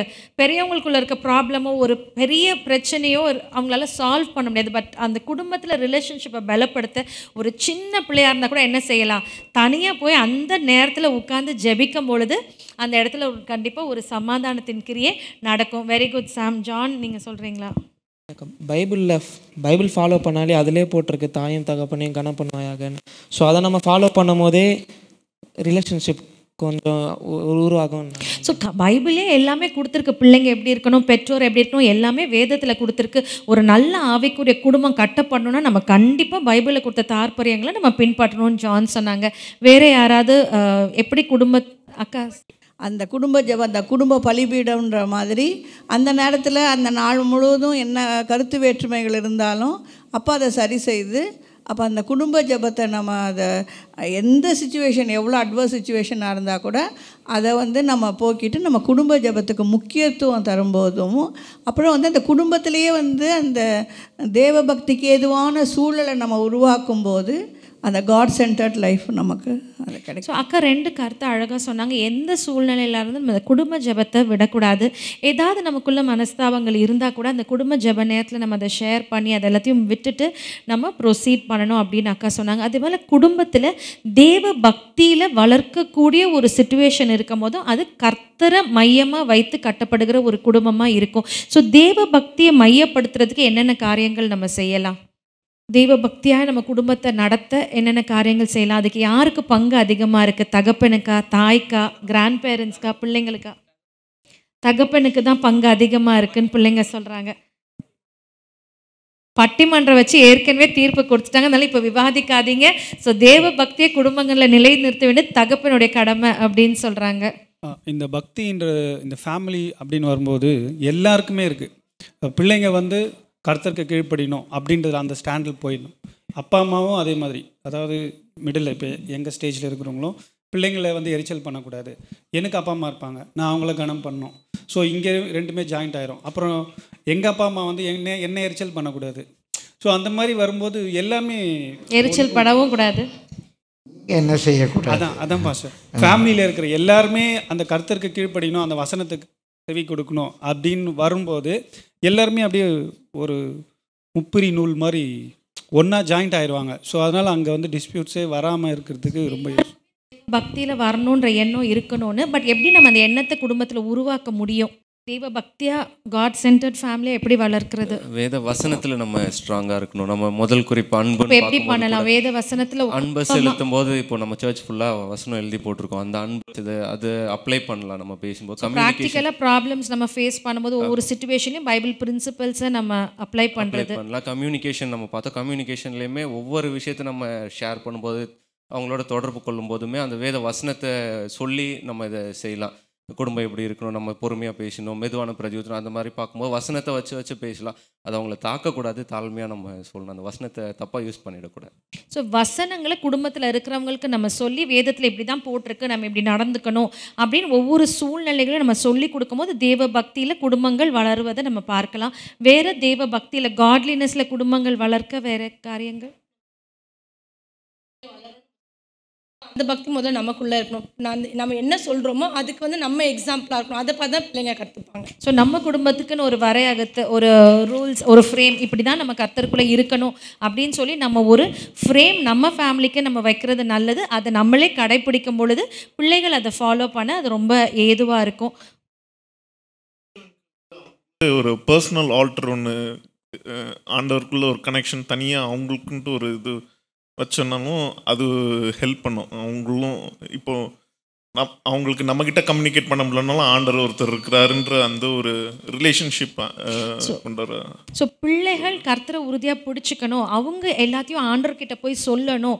ஆண்டவர் அவங்க ஒரு பலிபீடத்தை கட்டணும். அவங்க பலி செலுத்த ஆரம்பிக்கணும். அவங்களா கர்த்தரை தேட ஆரம்பிக்கணும். அப்படின்ற ஒரு காரியத்தை நம்ம பிள்ளைங்களுக்கு கற்றுக் கொடுப்பது ரொம்ப அவசியமாக இருக்குது சுந்தர்லால் அங்கிள் வாசிப்பது கொடுக்கணும். குடும்பமா குழந்தைங்க வேதம் வாசிக்கணும். வேதம் வாசிக்கணும். அது அது வேதம் வாசிக்க ஆரம்பிச்சிட்டாலே அந்த குடும்பம் கட்ட கட்டாயமாக கட்டப்படும். ஆண்டவர் உண்மை ஸோ அதில் தனித்தனியாக வாசிக்கிறதா குடும்பமாக வாசி குடு- குடும்பமா வாசிக்கணும். தனி அவங்க தனிப்பட்ட பசங்க குழந்தைங்கலேருந்து அவங்கள வாசிக்க விட்டுணும் மெயின் புக்ஸ் படிக்கிறத விட ஸ்கூல் புக்ஸ் படிக்கிறத விட ஃபஸ்ட்டு பைபிள் படிக்கணும். அதுக்கப்புறமா நீ ஸ்கூல் புக் படிக்கணும். அந்த அந்த அந்த ப்ராக்டிஸை நம்ம கீழே கொடுத்துட்டோம்னா அதை படிக்க படிக்க அவங்களுக்கு ஆண்டவரோட கிருபை அந்த இதெல்லாம் ஆட்டோமேட்டிக்காக வரும் குடும்பம் நல்லா கட்டப்படும். ஆமீன் ஆமீன். வேற மன்னிக்கணும். ஸோ அந்த சைலன்ஸ் எல்லாம் இருக்காது.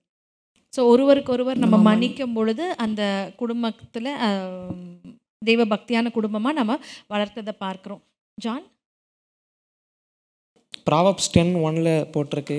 A wise son brings joys to his father but a foolish son brings grief to his mother so பைபிளே நம்ம வயசாக ஞானமாக நடந்தோன்னா அப்பாவுக்கு சந்தோஷம் கொடுப்போம் அப்படின்னு போட்டிருக்கா? வெரி குட் வெரி குட் நம்ம ஞானமாக நடக்கும்போது ஸோ இந்த காரியங்களை பார்த்தோம் நம்ம கர் எப்படியெல்லாம் குடும்பத்தில் ஒரு கிரைஸ்ட் சென்டர்ட் ஃபேமிலியை நம்ம உருவாக்க முடியும் அதன் மூலமாக நம்மளுடைய குடும்பம் கட்டப்படும்னு பார்த்தோம். கடைசியாக ஒரு சில குறிப்புகள் மாத்திரம் இந்த கர்த்தர் மேலே இருக்கிற ஃபோக்கஸ் எதனால் நிறைய நேரத்தில் குடும்பங்களில் சிதையுது? என்னென்ன காரியங்களில் ஃபோக்கஸ் மாறுது? அதுக்கு என்ன செய்யலாம்? கிரைஸ்ட் மேலே ஃபோக்கஸ் இல்லாமல் ஃபோக்கஸ் மாறுது குடும்பங்களில் நம்ம பார்க்குறோம் அதனால தான் பிரச்சனைகள் வருது. ஈவன் நிறைய ஆண்டவர் அறிந்த குடும்பங்களில் கூட பிரிவில் போய் நிற்கிறாங்க ஸோ எங்கே அந்த ஃபோக்கஸ் மாறி இருக்கும்? பொருளாதார தேவைகள் அதுக்காக அதுக்கான வேலைகளை நம்ம அதிகமாக ஃபோக்கஸ் பண்ணி ரெண்டாவது நம்ம ஃபோக்கஸ் பொருளாதார தேவை வந் தேவைகளை சந்தித்தா குடும்பம் வளர்ந்துரும் அப்படின்ற ஒரு நம்பிக்கையில் நம்ம பண்ணுறது வந்து ஸ்பிரிச்சுவலாக குரோத்தை வந்து அதிகமாக பாதிக்குது. பொருளாதார தேவைகள் மேலே நம்ம ஃபோக்கஸ் மாறும்போது ஸ்பிரிச்சுவல் க்ரோத் பாதிக்கப்படுது. வேற எங்கே ஃபோக்கஸ் பா மாறும்போது ஸ்பிரிச்சுவல் லைஃப் பாதிக்கப்பட வாய்ப்பு இருக்கு? உலக ஸ்நேகம் அங்கிள் சொல்கிறாங்க உலக ஸ்நேகம் உலக ஸ்நேகம் அதிகமாகும் போது அது கர்த்தருக்கு விரோதமான பகை கர்த்தருக்கான காரியங்களை நம்ம நேரம் செலவு பண்ண முடியலை. ஸோ உலக ஸ்நேகம்னும் போது எந்த ஏஜ் குரூப் அதிகமாக உலக ஸ்நேகத்துக்கு கணவன் மனைவி அவங்களுக்கு வந்து பிள்ளைங்களை வந்து உலக பிரகாரம் நடத்தணுன்ட்டு ஒரு கட்டாயத்துக்குள்ளே வரும்போது உலக பிரகாரமாக நம்ம பிள்ளைங்களை வந்து ஒரு பேரு புகழ் இப்படி பிள்ளைங்களை நம்ம வளர்க்கணும். அதனால் நம்மளுக்கு நாலு பேருக்கு முன்னால் பிள்ளைங்க உலகத்தில் இப்படி இருக்கணும் அப்படின்னு நம்ம யோசிச்சு அதன் பின்னால் போயிடுறோம். ஸோ கர்த்தரோட ஃபோக்கஸை விட்டுடுறோம் அப்படின்னு சொல்கிறீங்க அங்கிள் ரொம்ப நல்ல பாயிண்ட் வேறு யாரும்? நான்சி காட்ஸ் லவ் இல்லாமல் ஃபுல்லாக ஹேட்ரட் அதெல்லாம் இருக்கும்போது நான் ஃபேமிலி செய்ததுக்கு காரணம். சிதையறதுக்கு காரணமாக இருக்குது வேறு எதனால ஃபோக்கஸ் மாறுது? கர்த்தர் ஒன்று பொருளாதாரம் சொன்னாங்க ஒன்று உலகத்தின் மேலே உள்ள ஸ்நேகம்னால அஹ், நம்ம ஃபோக்கஸ் மாறுது. இன்னொன்று டெக்னாலஜிக்கா அக்கா ஒரு நிமிஷம் அக்கா. டெக்னாலஜி இப்போ பேரண்ட்ஸ் வந்து அதிகமாக மொபைல் சோஷியல் மீடியா நம்ம பார்த்துட்டே இருக்கோம்.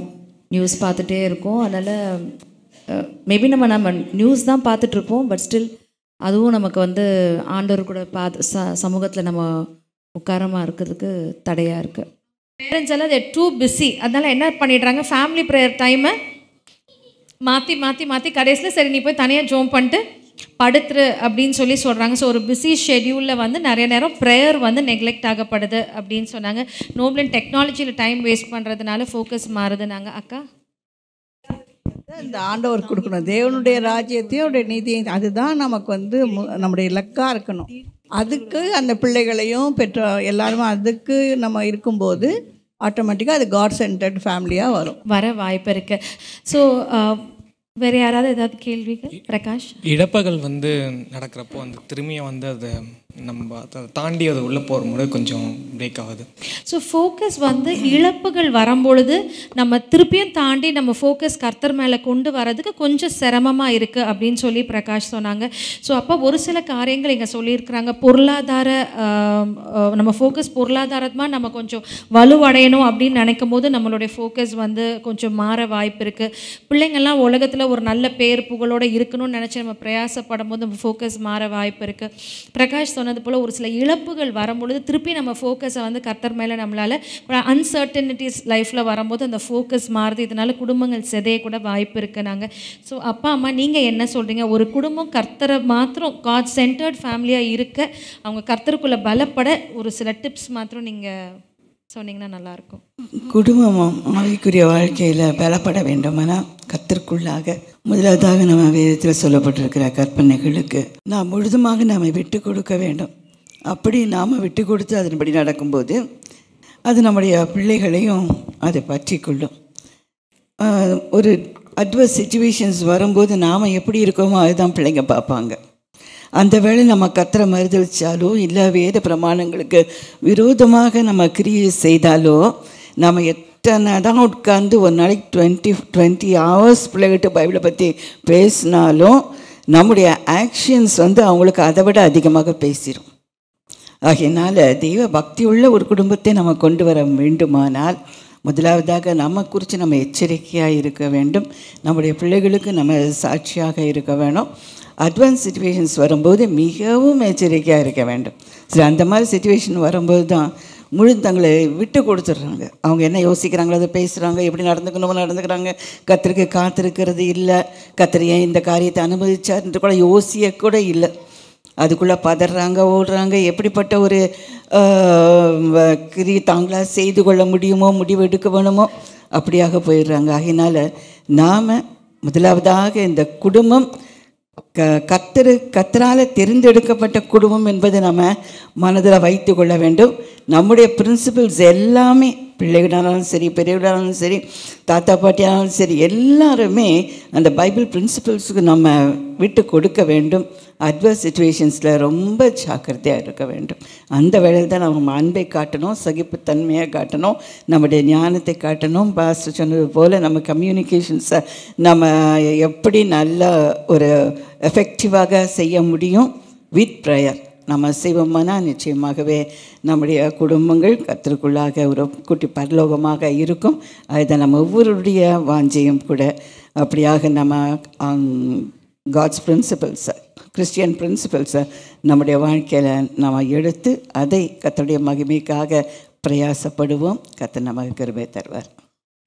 ஸோ அப்போ அந்த பொருளாதாரம் உலக ஆசை அது பற்றி நீங்கள் கொஞ்சம் சொல்லுங்கள் அது நம்ம ஃபோக்கஸ் எப்படி கர்த்தரை விட்டு ஷிஃப்ட் பண்ணாமல் நம்ம பார்த்துக்கிறது ஓகேம்மா நம்ம இப்போ வந்து நம்முடைய குடும்பத்தை காட் சென்டர் இல்லைன்னா காட் ஃபோக்கஸ்ட் தேவனை சார்ந்த தேவனை நோக்கிய ஒரு குடும்பமாக நம்ம அமைக்கணும்னு சொன்னால் நீங்கள் சொன்ன எல்லா காரியங்களும் சரி. அதை நான் கொஞ்சம் கன்சைஸாக ஒரு மூணு பாயிண்ட்டாக சொல்கிறேன் number one point number one நம்முடைய personal relationship with God is very important எல்லாம் சில்ட்ரன் பேரண்ட்ஸ் எல்லாரும். அதில் குறிப்பாக யார் அங்கே ரொம்ப ஸ்பிரிச்சுவலாக இருக்க விரும்புகிறாங்களோ உங்கள் personal relationship with God is very very important number two word of God word of God பிள்ளைகளுக்கு தேவ எல்லாம் குடும்பம் பிள்ளைகளுக்கு இல்லை பேரண்ட்ஸு கிராண்ட் பேரண்ட்ஸ் எல்லாருக்கும். பைபிளை டீச் பண்ணுங்க. உட்கார்ந்துருக்கும் போதும் எழுந்திருக்கும் போதும் படுக்கும்போதும் நடக்கும்போதும் when you sit when you walk when you go to bed when you rise up teach teach the word of God teach the word of God அன்றைக்கி நான் போன ரெண்டு வாரத்துக்கு முன்னால் சபையில் கேட்டேன். எந்த வேத வசனத்தை டீச் பண்ணணும்? வேத வசனத்தை ஆராய்ந்து பாருங்கள்னா எந்த வேத வசனத்தை ஆராய்ந்து பாருங்கள் ஏதோ புதிய ஏற்பாடுன்னு நினைக்காதீங்க. பிள்ளைகளுக்கு பழைய ஏற்பாடு நல்லா தெரியும். பழைய ஏற்பாடு gives the mind of God to us தேவனுடைய மனம் என்ன என்பதை பழைய ஏற்பாடு வெளிப்படுத்துகிறது. அதுக்குரிய ஒரு விளக்க உரை தான் புதிய ஏற்பாடு. விபச்சாரம் செய்யாதிருப்பாயாக அப்படின்னு பழைய ஏற்பாடு சொல்லியிருக்கு. விபச்சாரம் செய்தால் கல்லறிந்து கொல்லப்படணும்னு பழைய ஏற்பாடு சொல்லியிருக்கு. அந்த விபச்சாரம் என்ன அப்படின்னா ஒரு பெண்ணை இச்சையோடு பார்ப்பதே விபச்சாரம்னு அதற்கு ஒரு விளக்கம் தான் இயேசு கொடுத்தாரே ஒழிய அவர் பழைய ஏற்பாட்டை அழிக்க வரவில்லை. அதை நிறைவேற்றவே வந்தார். நமக்கும் பழைய ஏற்பாடு நல்லா தெரியணும். குறிப்பாக ஐந்து ஆகமங்கள் நல்லா தெரியணும். பிரியமானவர்களே நம்ம பிள்ளைகளுக்கு அதை கருத்தாய் போதிக்கணும். அதான் பைபிள் பிரின்சிபல். ஹஸ்பண்ட் என்ன செய்யணும் ஒய்ஃப் என்ன செய்யணும் பேரண்ட்ஸ் என்ன செய்யணும் நம்ம எப்படி மற்றவங்களோட பழகணும்? காட்ஸ் மைண்ட் இஸ் ரிவீல்டு இன்றைக்குள்ள ஒரு பெய்த்தனத்துக்கு அடுத்த உபதேசம் நமக்கு பழைய ஏற்பாடு வேண்டாம் பழைய ஏற்பாடு வேண்டாம். இயேசு சொல்லும்போது வேத வசனத்தை ஆராய்ந்து பாருங்கள் என்று சொன்னது புதிய ஏற்பாட்டை அல்ல பழைய ஏற்பாடு. இந்த பழைய ஏற்பாடு என்று சொல்ல விரும்பல குறிப்பாக ஆகமங்கள். So number one your personal relationship with God number two word of God number three நீங்கள் சொன்ன மாதிரி be an example to others அவங்களுக்கு நீங்கள் ஒரு மாதிரியாக இருங்க. இந்த மூன்றும். இப்போ இந்த பேரண்ட்ஸ் ஒரு வேர்லினஸுக்கு ஃபோக்கஸ் பண்ணுறாங்க ஒரு பிள்ளைங்களுடைய வெட்டிங் வருது. அவங்க வேர்லியாக நடத்த விரும்புகிறாங்க பிள்ளைங்க வந்து மற்றவங்க நல்லா படித்து வரணும். என் பிள்ளைங்க இப்படி படிக்கணும் அப்படின்னு விரும்புகிறாங்க என் பிள்ளைங்களை குறித்த தேவனுடைய தீர்மானம் என்னவோ அந்த தீர்மானம் நிறைவேற வேண்டும் என்று விரும்புவதை விட என் பிள்ளை டாக்டர் ஆகணும் இன்ஜினியர் ஆகணும். என் பிள்ளை இப்படி வரணும் அப்படி வரணும். இப்படி கல்யாணம் நடக்கணும் இப்படி ஒரு பொண்ணு கிடைக்கணும் இப்படி ஒரு மாப்பிள்ளை கிடைக்கணும். அந்த விருப்பம் வேலியாக போயிடுது. இல்லைன்னா அந்த விருப்பம் இன்னும் பணம் சம்பாதிக்கணும் வீடு கட்டணும் இப்படி இருக்கணும் அப்படி இருக்கணும் அப்படின்னு சொல்லி வேர்லியாக போயிடுது. நம்ம பிள்ளைகளுக்கு நம்ம கொடுக்குற ஃபோக்கஸ் நம்முடைய பயட்டி லைஃப் நம்ம பர்சனல் கமிட்மெண்ட் அதை பிள்ளைகள் பார்க்குறாங்க. இதை நீங்கள் பேசிகிட்டு இருக்கும்போது எனக்கு வந்து ஒரு சின்ன எக்ஸ்பீரியன்ஸ் நம்ம சபையில் சொல்லியிருப்பேன். சின்ன வயசில் இந்த பிள்ளைங்க அதை பார்த்துருப்பாங்க. நான் ஊழியம் ஊழியம் ஊழியம் அலைஞ்சிகிட்ருக்கிறேன் ஸ்கூலில் டீச்சராக இருக்கிறேன். நான் சொன்னது போல் வீட்டில் டைம் ஸ்பெண்ட் பண்ண முடியலை. ஒரு சாட்டர்டே பிள்ளைங்களை எங்கேயாவது வெளியே கூட்டி போகணும். அப்படியே எங்கள் பிள்ளைங்களை வளர்த்தோம். பிள்ளைங்களை எங்கேயாவது வெளியே கூட்டி போகலாம். ட்ரேட் ஃபேர் ட்ரேட் ஃபேர் போகலாம் அப்படின்னு சொல்லி நாங்கள் நாலு பேரும் ட்ரேட் சென்டரில் அவ்வளோ அந்த ட்ரேட் ஃபேருக்கு நாங்கள் போயிட்டோம். டிக்கெட் வாங்கிட்டு உள்ளே போகிறோம் நானும் பஸ்டமாக பேசுகிறோம் சாட்டர்டே சாட்டர்டே சேர்ச்சில் அப்போ டேரிங் மீட்டிங் நடக்கும். காத்திருப்பு கூட்டம் நடக்கும். இப்போ நடத்துவார். அங்கே வச்சு நாங்கள் பேசுகிறோம் நம்ம பாஸ்டர் முழங்கால் படிட்டு ஜெபிச்சுக்கிட்டு இருக்கும்போது உலக பிரகாரமான வேலையில் இருக்கும்போது ரெண்டு சின்ன பிள்ளைங்களை வச்சுருக்கும்போது எங்கள் தாட் ப்ராசஸ் நம்ம பாஸ்டர் முழங்கால் படிட்டு ஜபித்துட்டு இருக்கும்போது நம்ம பிள்ளைகளை கூட்டிட்டு இப்படி சொற்றுள்ள பொருட்காட்சி போகிறது சரியா? அப்படின்னு ஒரு ரெண்டு ஸ்டால் பார்த்துருக்க மாட்டோம்னு நினைக்கிறேன். அங்கேருந்து உடனே ஒரு ஆட்டோ எடுத்துட்டு நேரே ஜப வீட்டுக்கு வந்தோம். அப்ப எங்கள் பிள்ளைங்க பார்ப்பாங்க பார்த்துருப்பாங்க. எங்கள் அப்பா அம்மா எதுக்கு இம்பார்ட்டன்ஸ் கொடுக்குறாங்க? எதுக்கு இம்பார்ட்டன்ஸ் கொடுக்குறாங்க? ஸோ நீங்கள் வந்து உங்களுடைய லைஃப் ஸ்டைலில் give importance to godly things give importance to godly things எங்கள் அப்பா எப்படி? எங்கள் அம்மா எப்படி? வீடு முழுவதும் ஓரளவுக்கு அதனால் நான் ஹண்ட்ரட் பர்சன்ட் சக்சீட் ஆயிடுவீங்கன்னு நான் சொல்ல ஆனால் அந்த அட்மாஸ்ஃபியரை உருவாக்க முடியும்.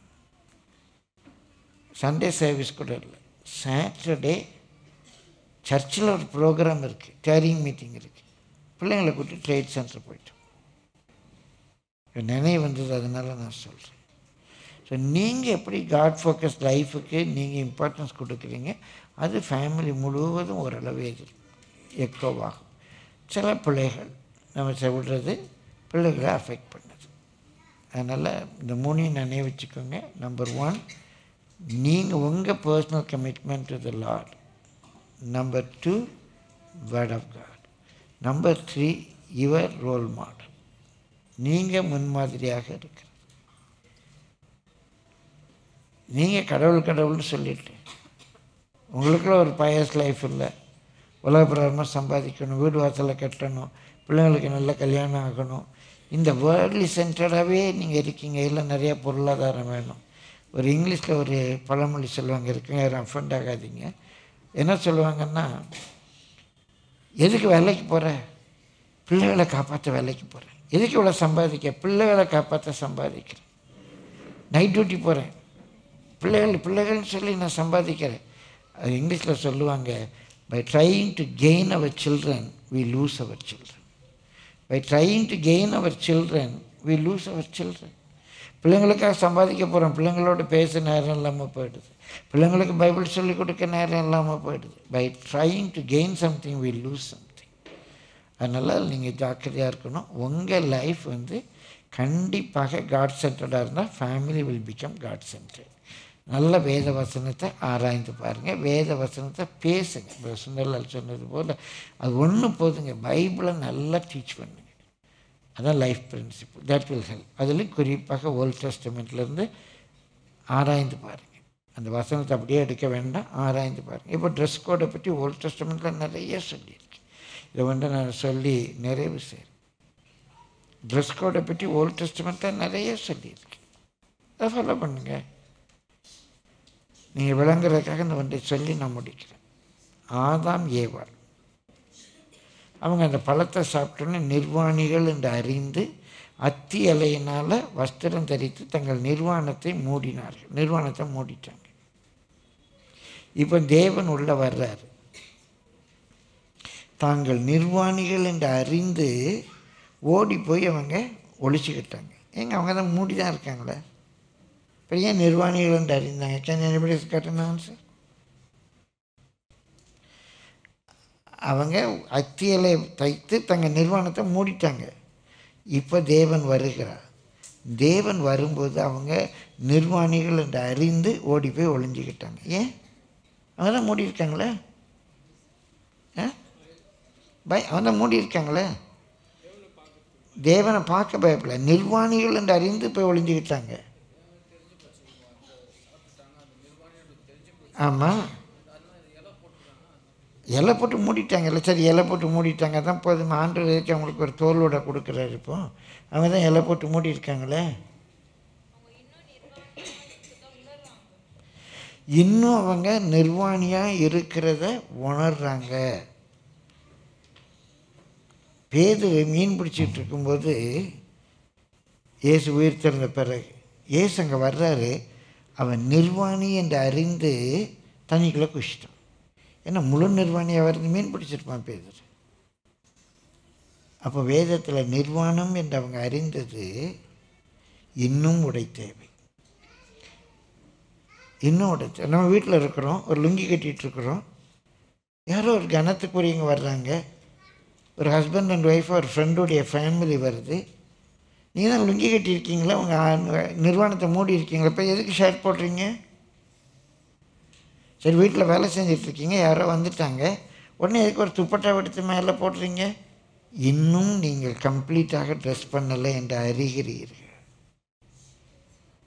இயற்கையாகவே நமக்கு இருக்குது தேவனை பார்த்து பயப்படலை.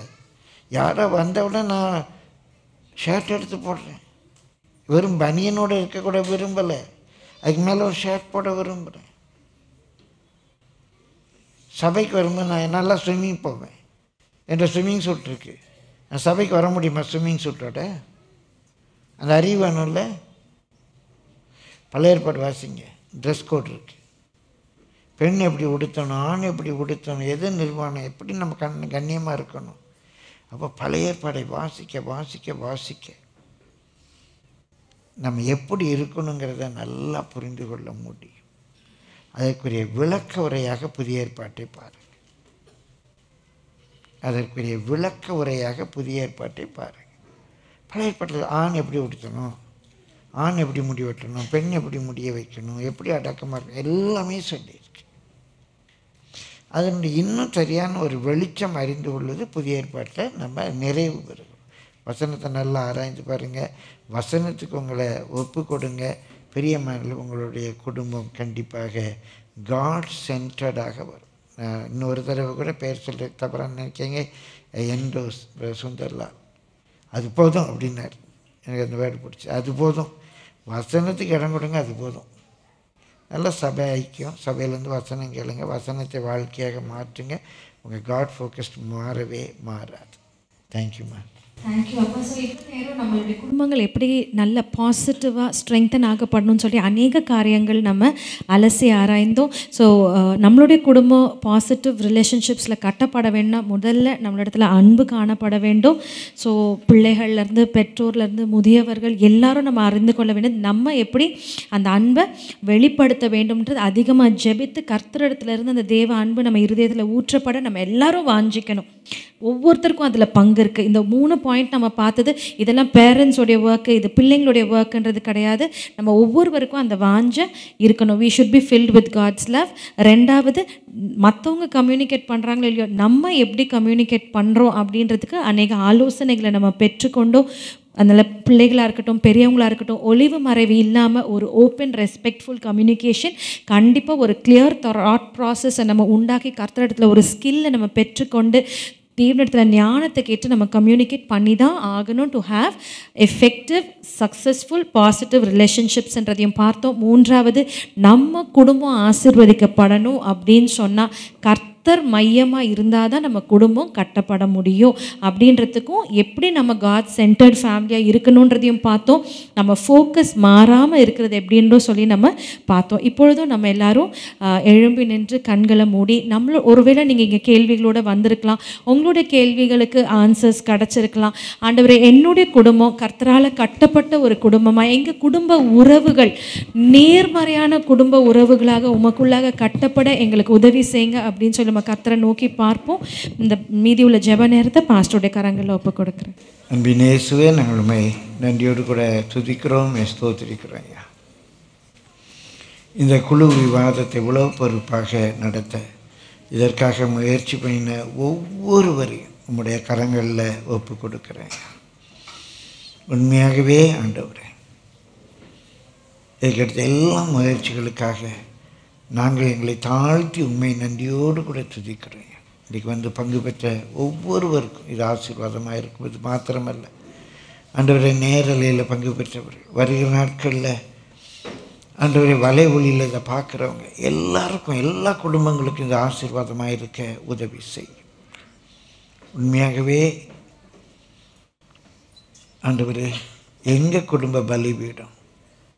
ஆண்டவர் அநேக குடும்பங்களுக்கு ஆசீர்வாதமாய் அமையட்டும் ஐயா உடைய கிருபை கரம் கூட இருப்பதாக. அந்தந்த ஒவ்வொரு ஆசீர்வதியும் ஒரு பேச்சு நடத்தின மகளை ஆசீர்வதியும் அன்பினேஸ்வரை பேனல் குழுவினரை ஆசீர்வதியும் வந்து பொறுமையாக இவ்வளோ நேரம் தருமையான காரியங்களை கேட்டுக்கொண்டு இந்த பிள்ளைகளை ஆசீர்வதிங்க ஐயா ஆசீர்வாதத்தின் நிறைவோடு நாங்கள் கடந்து போக உதவி செய்யும். உடைய பிள்ளைகளை இடங்கொள்ளாமல் போகும் மட்டும் ஆசீர்வாதத்தை வர்த்திக்க பண்ணுங்க ஆண்டவர். உம்முடைய கிருபை உள்ள கரம் உடைய பிள்ளைகளோடு கூட இருப்பதாக தேவ சமாதானத்தோடு உம்முடைய பிள்ளைகள் கடந்து போக உதவி செய்யும். இயேசுவின் நாமத்தில் பிதாவே இதனை இணையத்தின் வாயிலாக பார்த்து கொண்டிருக்கிற உங்கள் ஒவ்வொருவருக்கும் இந்த கலந்துரையாடல் மிகுந்த ஆசிர்வாதமாக இருந்திருக்கும் என்று நான் கர்த்தருக்குள்ளாக நான் விசுவாசிக்கிறேன். நம்முடைய குடும்ப உறவுகள் வலுப்பட நாம் வாஞ்சிப்போம் அதற்காக நாம் முயற்சி எடுப்போம். கர்த்தர் தாமே நம்மை ஆசிர்வதிப்பாராக. இதே போல இன்னொரு வாலிப நாளில் இயேசுவை கண்டேன் நிகழ்ச்சியில் வெள்ளிக்கிழமை அன்று மாலை ஏழரை மணிக்கு உங்களை சந்திக்கும் வரை விடைபெறுகிறேன். நன்றி.